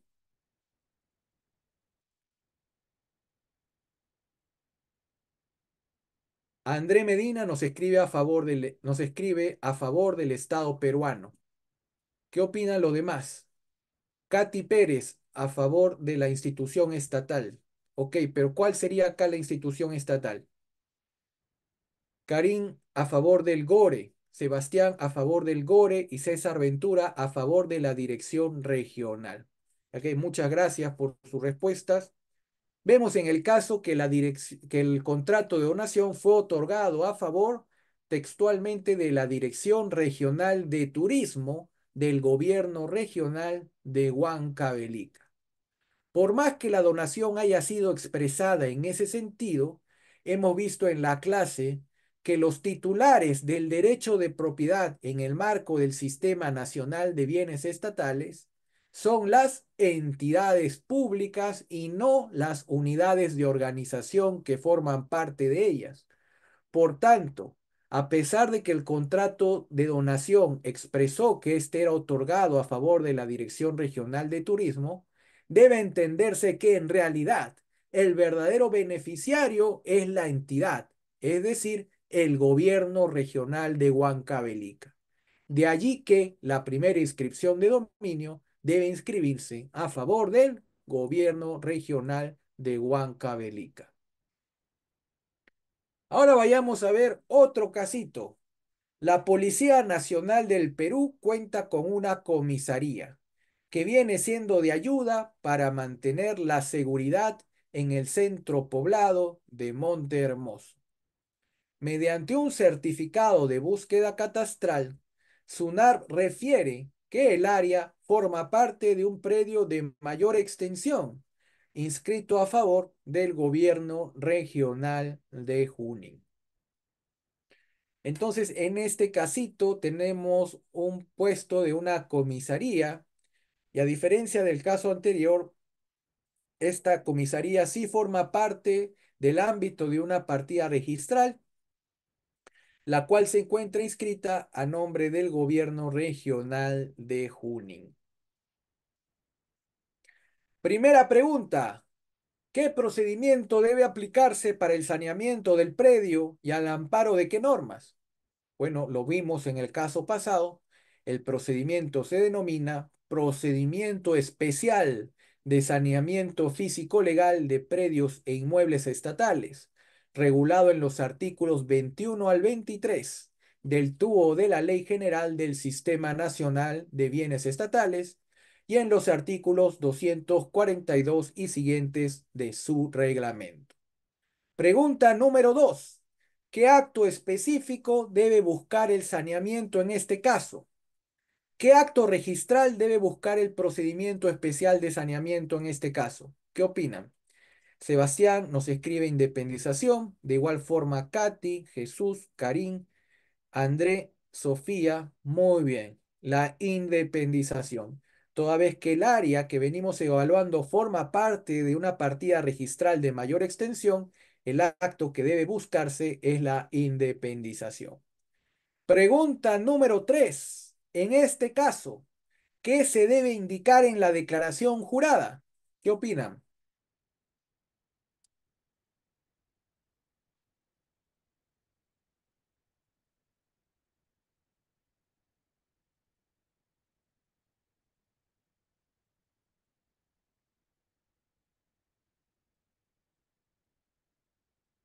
Pueden escribir por el chat o decir, tomar el micrófono diciendo su nombre y su opinión.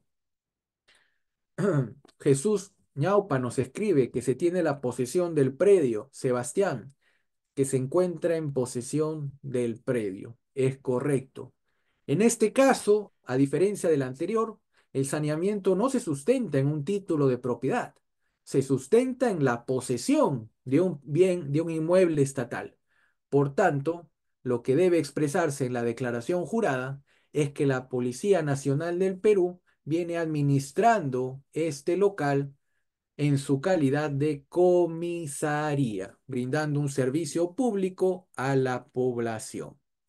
Además de ello, recordemos que en la declaración jurada también debe consignarse que se cumplió con efectuar la notificación personal o en su caso la publicación. Acá, ¿qué debió haberse hecho? ¿Notificación personal al gobierno regional o una publicación en el diario? ¿Qué opinan?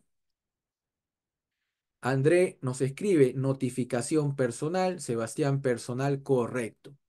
Toda vez que en este acto, eh, en este caso, buscamos la independización y por tanto la partida registral del gobierno regional se va a ver reducida, entonces el impactado con, la, con el saneamiento se encuentra debidamente identificado. Es por ello que lo que correspondió haberse efectuado es una notificación personal. Y en la declaración jurada debe expresarse, se cumplió con notificar al gobierno regional de Huancavelica mediante oficio número tanto de fecha tanto, el cual fue notificado en la fecha tal. Finalmente, en la declaración jurada, recordemos que también debe expresarse que el bien estatal, materia de saneamiento, no viene siendo materia de ningún proceso judicial que cuestione la propiedad estatal. Pregunta número cuatro. Ustedes me han dicho que en este caso debe buscarse la independización. La pregunta es, ¿a favor de quién debe realizarse la independización? ¿Qué opinan?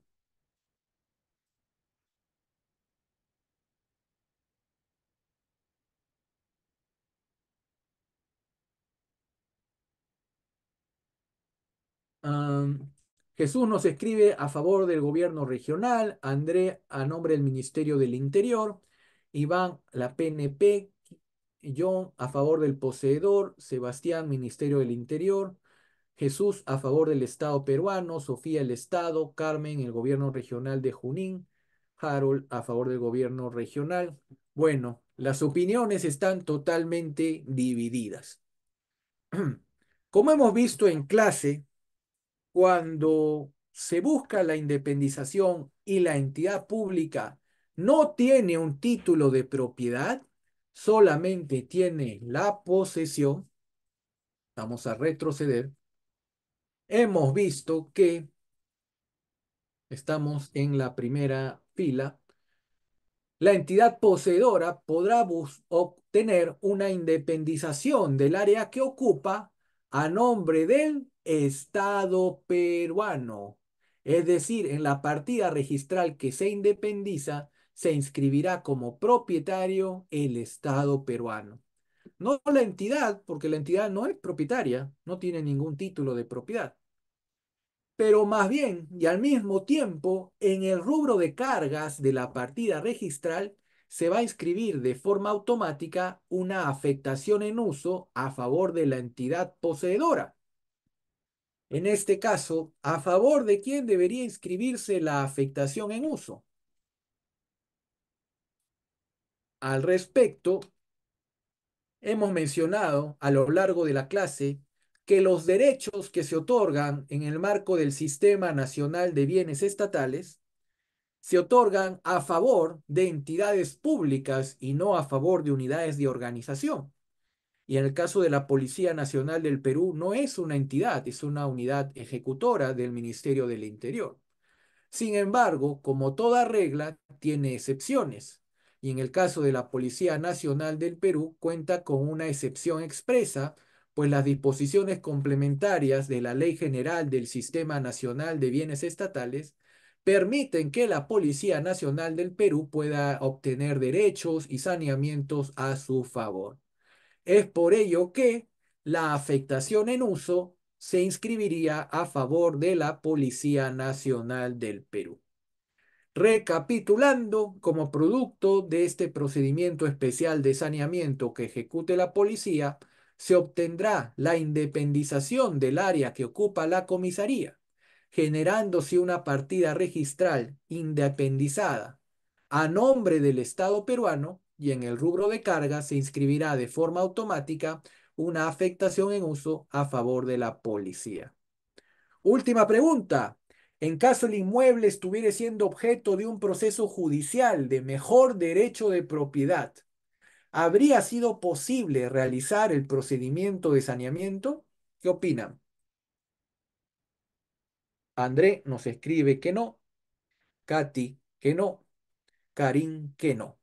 En efecto, hemos visto que una de las condiciones para aplicar este procedimiento especial de saneamiento es que no existe en trámite ningún proceso judicial que cuestione la propiedad estatal. Bien, señores, a continuación pasamos a la ronda de preguntas y voy a comenzar con algunas preguntas que han formulado a través del chat hasta este momento. Michael Michelle nos escribió, ¿dónde puedo averiguar que el bien está inscrito? Eh, para saber si un predio cuenta o no con una partida registral, lo que se solicita a SUNAR es un certificado de búsqueda catastral. Para tal efecto, se le remite a SUNAR un plano perimétrico y una memoria descriptiva del área que venimos consultando y SUNAR, mediante este certificado de búsqueda catastral, previa revisión de su base gráfica, nos informa de forma oficial si el área en consulta se encuentra o no bajo el ámbito de alguna partida registral. Y Michelle también nos pregunta cómo sabemos si el predio cuenta con una anotación preventiva. Bueno, una vez que ya identificamos que el predio cuenta con una partida registral de ser el caso, entonces la anotación preventiva, por definición, debería estar inscrita en la partida registral. Bien, a continuación quedo a vuestra disposición. Levantó la mano Rodrigo Augusto. Bienvenido, adelante. Sí, eh, buenas noches. Eh, primero agradecer por, la capacitación y toda la información que nos estás dando. Eh, tengo dos preguntas. La primera es eh, si es que un convenio que ha sido suscrito, por ejemplo, entre una entidad del Estado con particulares para transferencia o, o digamos un convenio, es suficiente como para considerarse un título para iniciar un proceso de saneamiento. Y mi segunda pregunta es que, por ejemplo, tengo un proyecto de inversión en el cual estoy haciendo saneamiento y estoy determinando hacer una afectación en uso, pero solamente de una parte de un polígono, que es propiedad estatal. ¿Cómo se podría hacer en ese caso? ¿Tendría que hacer una independización y luego una afectación en uso sobre la parte que voy a utilizar? ¿O una afectación en uso sobre todo el polígono y después posteriormente hacer una independización? A ver, vamos con la primera pregunta. ¿Y se puede otorgar algún derecho sobre un predio estatal mediante convenio? Muchas entidades han intentado hacerlo y lo cierto es que se trataría de sacar la vuelta a la ley.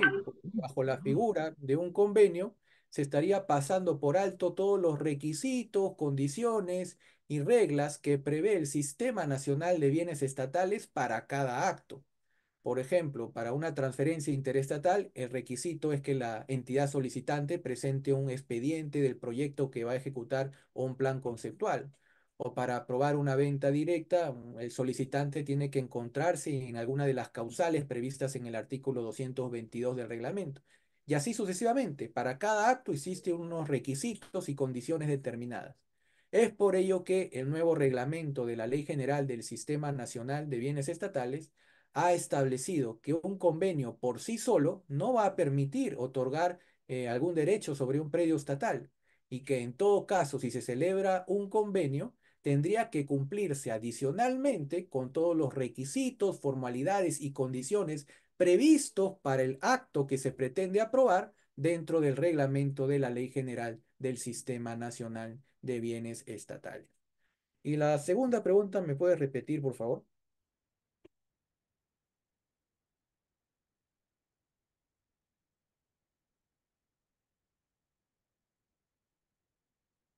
Señor Toledo, ¿tenía una segunda pregunta? Rodrigo.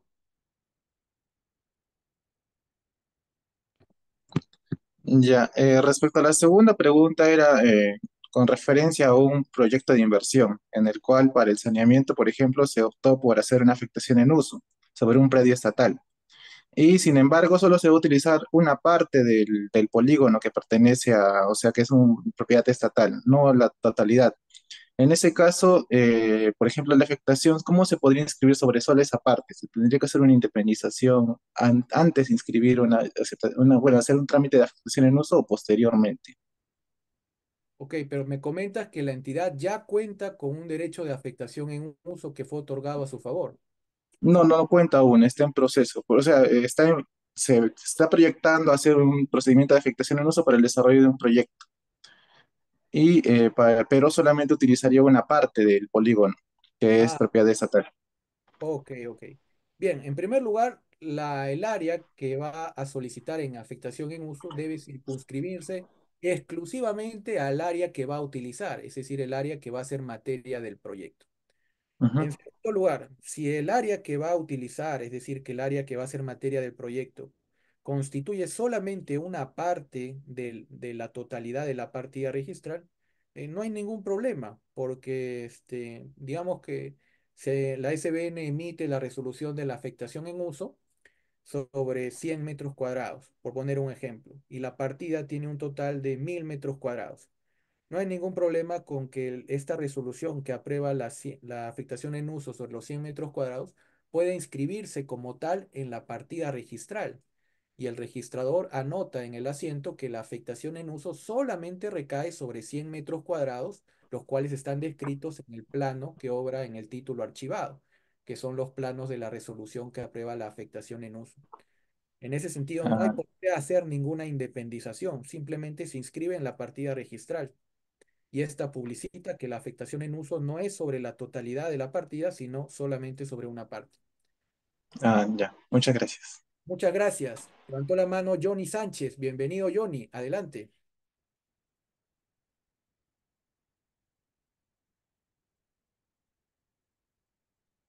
Johnny Sánchez. Puedes activar tu micrófono. Sí, buena, sí, buenas noches, profesor. Buenas noches. No, no, no escucho. Sí, buenas noches, profesor. ¿Cómo está? Eh, profesor, la pregunta es la siguiente. Eh, nosotros como municipalidad eh, tenemos proyectado realizar, en este caso, una reforestación en una faja marginal y hecho el seguimiento del caso, eh, este, se ha determinado de que esa faja marginal no, no se encuentra inscrito en registro público y además ya la Autoridad Nacional del Agua nos ha este, brindado una resolución autorizando y dándonos el plazo de dos años para ejecutar ese proyecto de reforestación. Mi consulta es, eh, doctor, eh, si, en esa, si en, ese, en esa área que está sobre la faja marginal ¿Podría en este caso la municipalidad solicitar la afectación en uso e inscribir la propiedad a favor, en este caso a favor del, del Estado, considerando de que, es una, eh, que no tiene inscripción registral? Esa es la pregunta, doctor. Por favor, si me podría ayudar. Ok, gracias, Johnny. ¿Qué departamento es? Eh, Junín, Junín. Junín, ok. Bien, entonces los datos del caso son los siguientes se tiene un área que no tiene partida registral. En segundo lugar, constituye una faja marginal. Y en tercer lugar, el ANA, ha prestado su consentimiento, su autorización para que allí la municipalidad pueda ejecutar un proyecto de reforestación. Y la pregunta es cómo sanearlo, qué derecho puede obtener la municipalidad. Bien, al respecto. Correcto, correcto. Al respecto, eh, si bien el ANA tiene competencia legal sobre las áreas, este, sobre las fajas marginales, lo cierto es que su ley, su ley de la materia no le otorga competencia para otorgar derechos reales.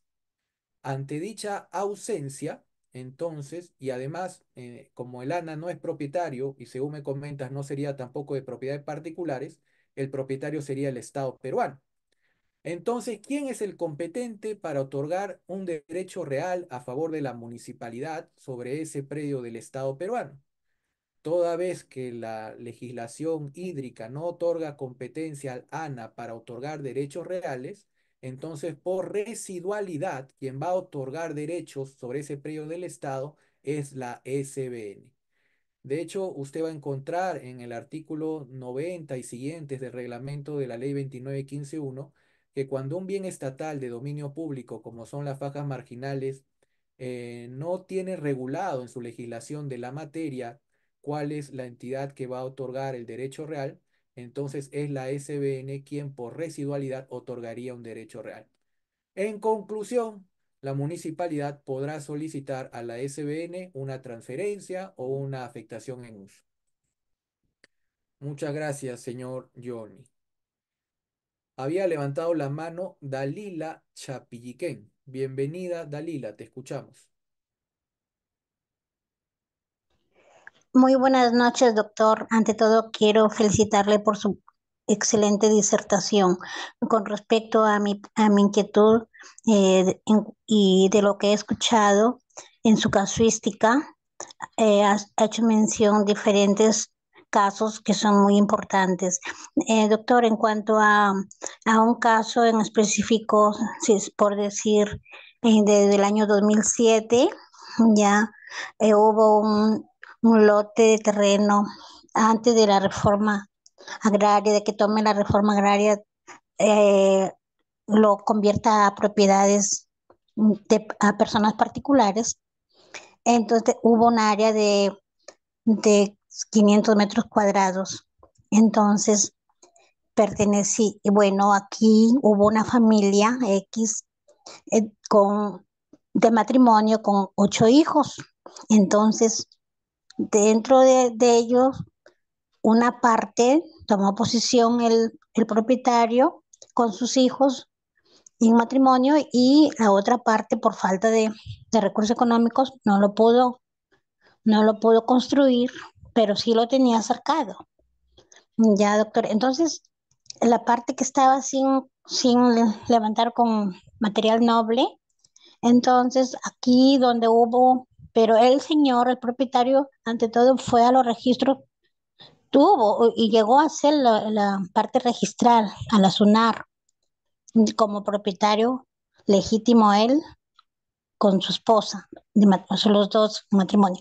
Entonces, doctor, Aquí se da un caso patético que la Dirección Regional de Educación, eh, valiéndose por medios ilegales, ya, por un, un, dirigente de ahí de la comunidad, del, del caserío, le, le saca una, una, una supuesta donación que el señor, el dueño del terreno, que se lo había dado a la Dirección Regional de Educación, como donación, pero sin embargo el, el, dueño ya estaba, ya lo tenía, ya estaba en los registros públicos con el nombre y apellido de los, de los, del matrimonio, de los, del señor propietario. Entonces, la Dirección Regional de Educación eh, empieza a construir sobre esa área que estaba cercada y todo, todo, y, y destruyen todos los linderos, todo que estaba, constru estaba hecho de material rústico, le destruyen todo y empieza a hacer una construcción y de un, de un centro educativo. Mire, entonces, eh, y empieza a darle apoyo, apoyo eh, económico, una partida, todos los años le da partida para su mantenimiento en la Dirección Regional de Educación. Entonces, el propietario que ha hecho se ha ido a, a, a juicio ante la corte ya y en la primera como desconocen todo ellos como lo, los propietarios los hijos no son son esto viven en una zona rural no han no se descuidaron y en realidad el proceso que tenía de mejor posición le declararon en abandono por falta de impulso procesal. Bueno, pasó eso y le archivaron. Después ha seguido el señor siempre, los dueños han estado en permanente juicio, pero la, aquí la, el dirigente que se atrevió a darle la, la supuesta constancia de donación que le sacó, eh, con eso se están valiendo, han, han hecho esto como el centro educativo le han puesto su número, su, su, resolución, todo por la Dirección Regional de Educación y su nombre del colegio. Ahorita alberga más de, más de 300 alumnos ahí y todavía está en proceso judicial. Doctor, ahí se hizo, inclusive se, llegó, se, buscó una conciliación con en ambas partes, a un centro de conciliación eh, eh, eh, con resolución de la Corte y no sé, sí se presentó, pero no sin decir nada. No se llegó a acuerdos, por eso se fue a un nuevo proceso. Doctor, ya tiene ya este proceso como tres años y hasta ahorita no se emite sentencia, pero en, en ese caso, ¿qué sugiere, qué me sugiere usted, viendo bien su casuística? Dice que ha, ha, ha estado a conocer diferentes casos y hay uno similar al, que, al caso que, que conozco. Doctor, ¿me podría dar los mayores alcances? La, la mejor alternativa como para poder dar una solución, porque ahorita está para sentencia, pero No sé si la sentencia va a salir a favor de ellos, de la Dirección Regional de Educación, porque el, el gobierno regional no se ha lavado las manos, no quiere, no, no, él no, no, no participa. Que la Dirección Regional ya esto se encargue de dar, de participar. Pero está como, también está como demandada la Dirección Regional de Educación y el GORE. Entonces yo le agradecería mucho escucharle su alternativa o qué camino a tomar. Como le digo, ahorita ya está para terminar el proceso y no emiten sentencia. Tal es así que se va a quejar a la juez porque nos prometió dar una sentencia desde el mes de octubre, no nos da. Que, no sé si, por, supongamos que nos, nos salga el proceso en, o sea, adverso, yo, yo quería, quiero un alcance de parte de usted para estar preparada para hacer una posible apelación. Le agradecería mucho, doctor. Bien, este, con los elementos que usted me da, yo no, no me pronuncio sobre casos este, concretos con nombre y apellido, pero bueno, atendiendo a su consulta de, carácter general y atendiendo que estamos en un espacio académico, por mi parte solamente señalar que eh, la transferencia de propiedad, sea entre entidades, de entidades a favor de privados o de privados a favor de entidades, como hemos visto en clase, solamente va a operar en la medida de que se sustente en títulos de propiedad que cumplan con los requisitos de validez y eficacia, ¿no? En ese sentido, ¿no? El contrato de donación va a ser válido en la medida de que haya sido elevado a escritura pública y si tendrá que evaluarse ya en el caso concreto si es que eh, al momento que se efectuó la donación ya el señor estaba casado, ¿no? Ya que si estaba casado tendría que haberse requerido la, el consentimiento por parte de su cónyuge. Ese será un aspecto que será, yo creo, medular para que lo tendría que evaluar el juez. Y esos son los aspectos que, que deberían dilucidarse en este caso, ¿no? Si es que el acto de donación que otorgó el señor a favor de la, del gobierno regional cumple o no con las exigencias de validez previstas para un contrato de donación. Es lo que puedo señalar, estimada.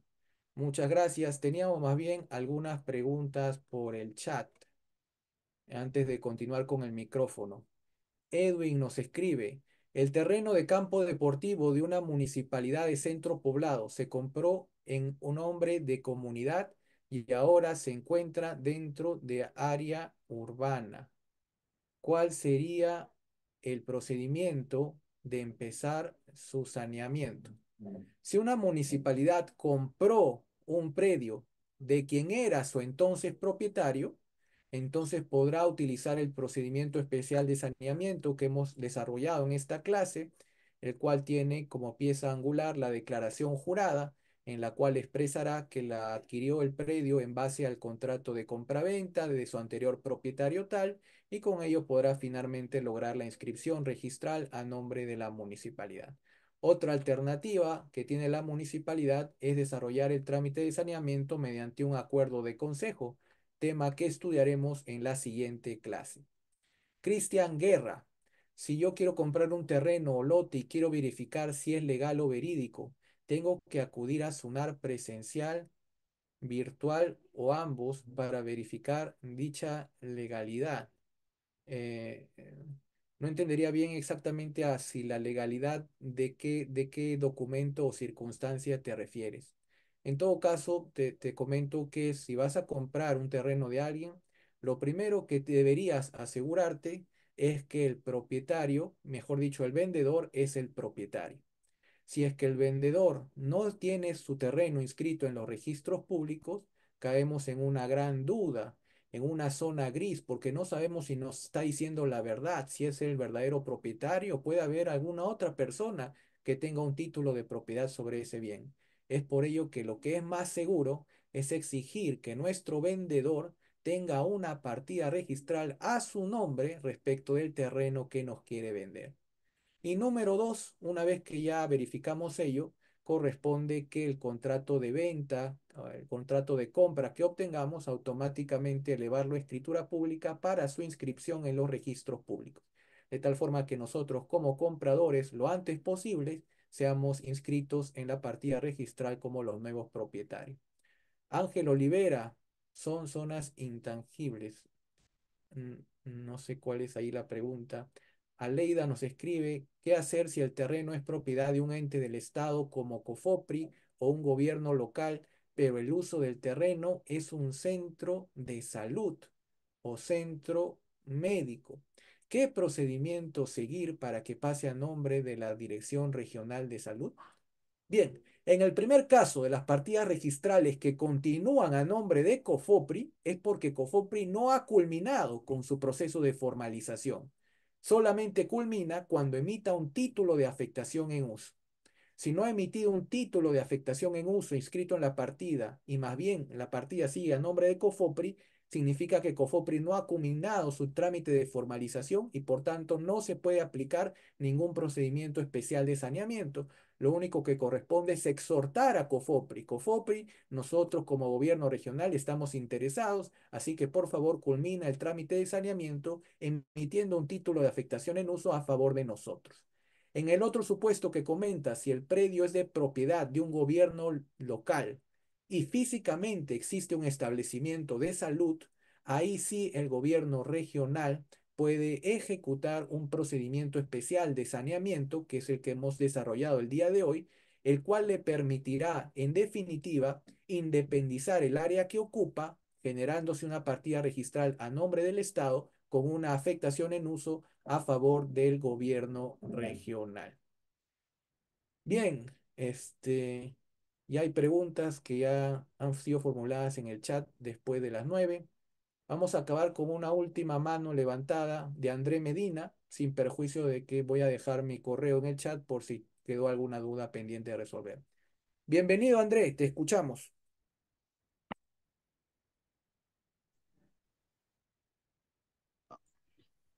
Hola, hola, ¿me escucha? Sí, te escuchamos, bienvenido. Muy buenas noches con todos, doctor. Eh, muy excelente su ponencia hoy día. Eh, mi consulta es este, referente. Estoy aplicando el saneamiento físico legal en una comunidad nativa, acá en Atalaya, soy de Pucallpa, ¿no? Y mi, mi pregunta es, eh, ¿es de un proyecto que se va a dar con respecto a un PETAC y a un tanque elevado? Eh, la Municipalidad Distrital de Cepagua puede ejecutar el, proceso especial de saneamiento físico legal. Esa es la primera pregunta. Y la segunda pregunta es eh, respecto a los, establecimientos de salud. Eh, el gobierno regional, según la norma, establece que tiene la competencia. El gobierno regional tiene que delegarle por resolución la competencia a la Dirección Regional de, Salud para que ellos puedan ejecutar el saneamiento o solamente el gobierno regional, ¿no? Esas son mis dos preguntas, doctor. Mm. Bien, muchas gracias. Con respecto a lo primero, ¿quién es el competente para sanear un predio, obtener algún derecho para un PETAR? Eh, ahí nos basamos en el decreto legislativo 1280 que regula las actividades de saneamiento en, el extremo referido a toda la infraestructura destinada o vinculada a la dotación de agua potable y recolección de desagüe, dentro de la cual también estarían incluidos los PETAR. Y dentro de este decreto legislativo 1280 se señala como entidades responsables tanto a las empresas públicas de saneamiento como a las municipalidades. Es por ello que la municipalidad tendría legitimidad para efectuar el saneamiento y si no está construido podrá solicitar la afectación en uso o la transferencia interestatal que corresponda a la entidad pública propietaria del terreno. Con respecto a lo segundo, ¿quién es competente dentro de un gobierno regional para efectuar el saneamiento de predios destinados a establecimientos de salud? Ahí nos tenemos que ceñir específicamente al reglamento de organización y funciones del gobierno regional en concreto. Se tiene que verificar las funciones de la Dirección Regional de Salud. Si dentro de las funciones de la Dirección Regional de Salud, dentro del reglamento de organización y funciones, existe contemplada alguna función que le permita sanear los predios que requiera, entonces será dicha Dirección Regional de Salud la competente. Si por el contrario no existe dicha función asignada a la Dirección Regional de Salud y más bien existe otro órgano, ya sea el control patrimonial, ya sea la Oficina General de Administración o cualquier otro órgano, según lo disponga el ROF en concreto, que sea el órgano encargado del saneamiento de los predios del gobierno regional, entonces será dicho órgano. En otras palabras, tenemos que ceñirnos específicamente a lo que determine el reglamento de organización y funciones del gobierno regional en concreto. Bien, señores, nos hemos un poco excedido por el tiempo, les pido las disculpas del caso, pero no quería dejar de atender las diversas preguntas interesantes que han venido formulando. Muchísimas gracias.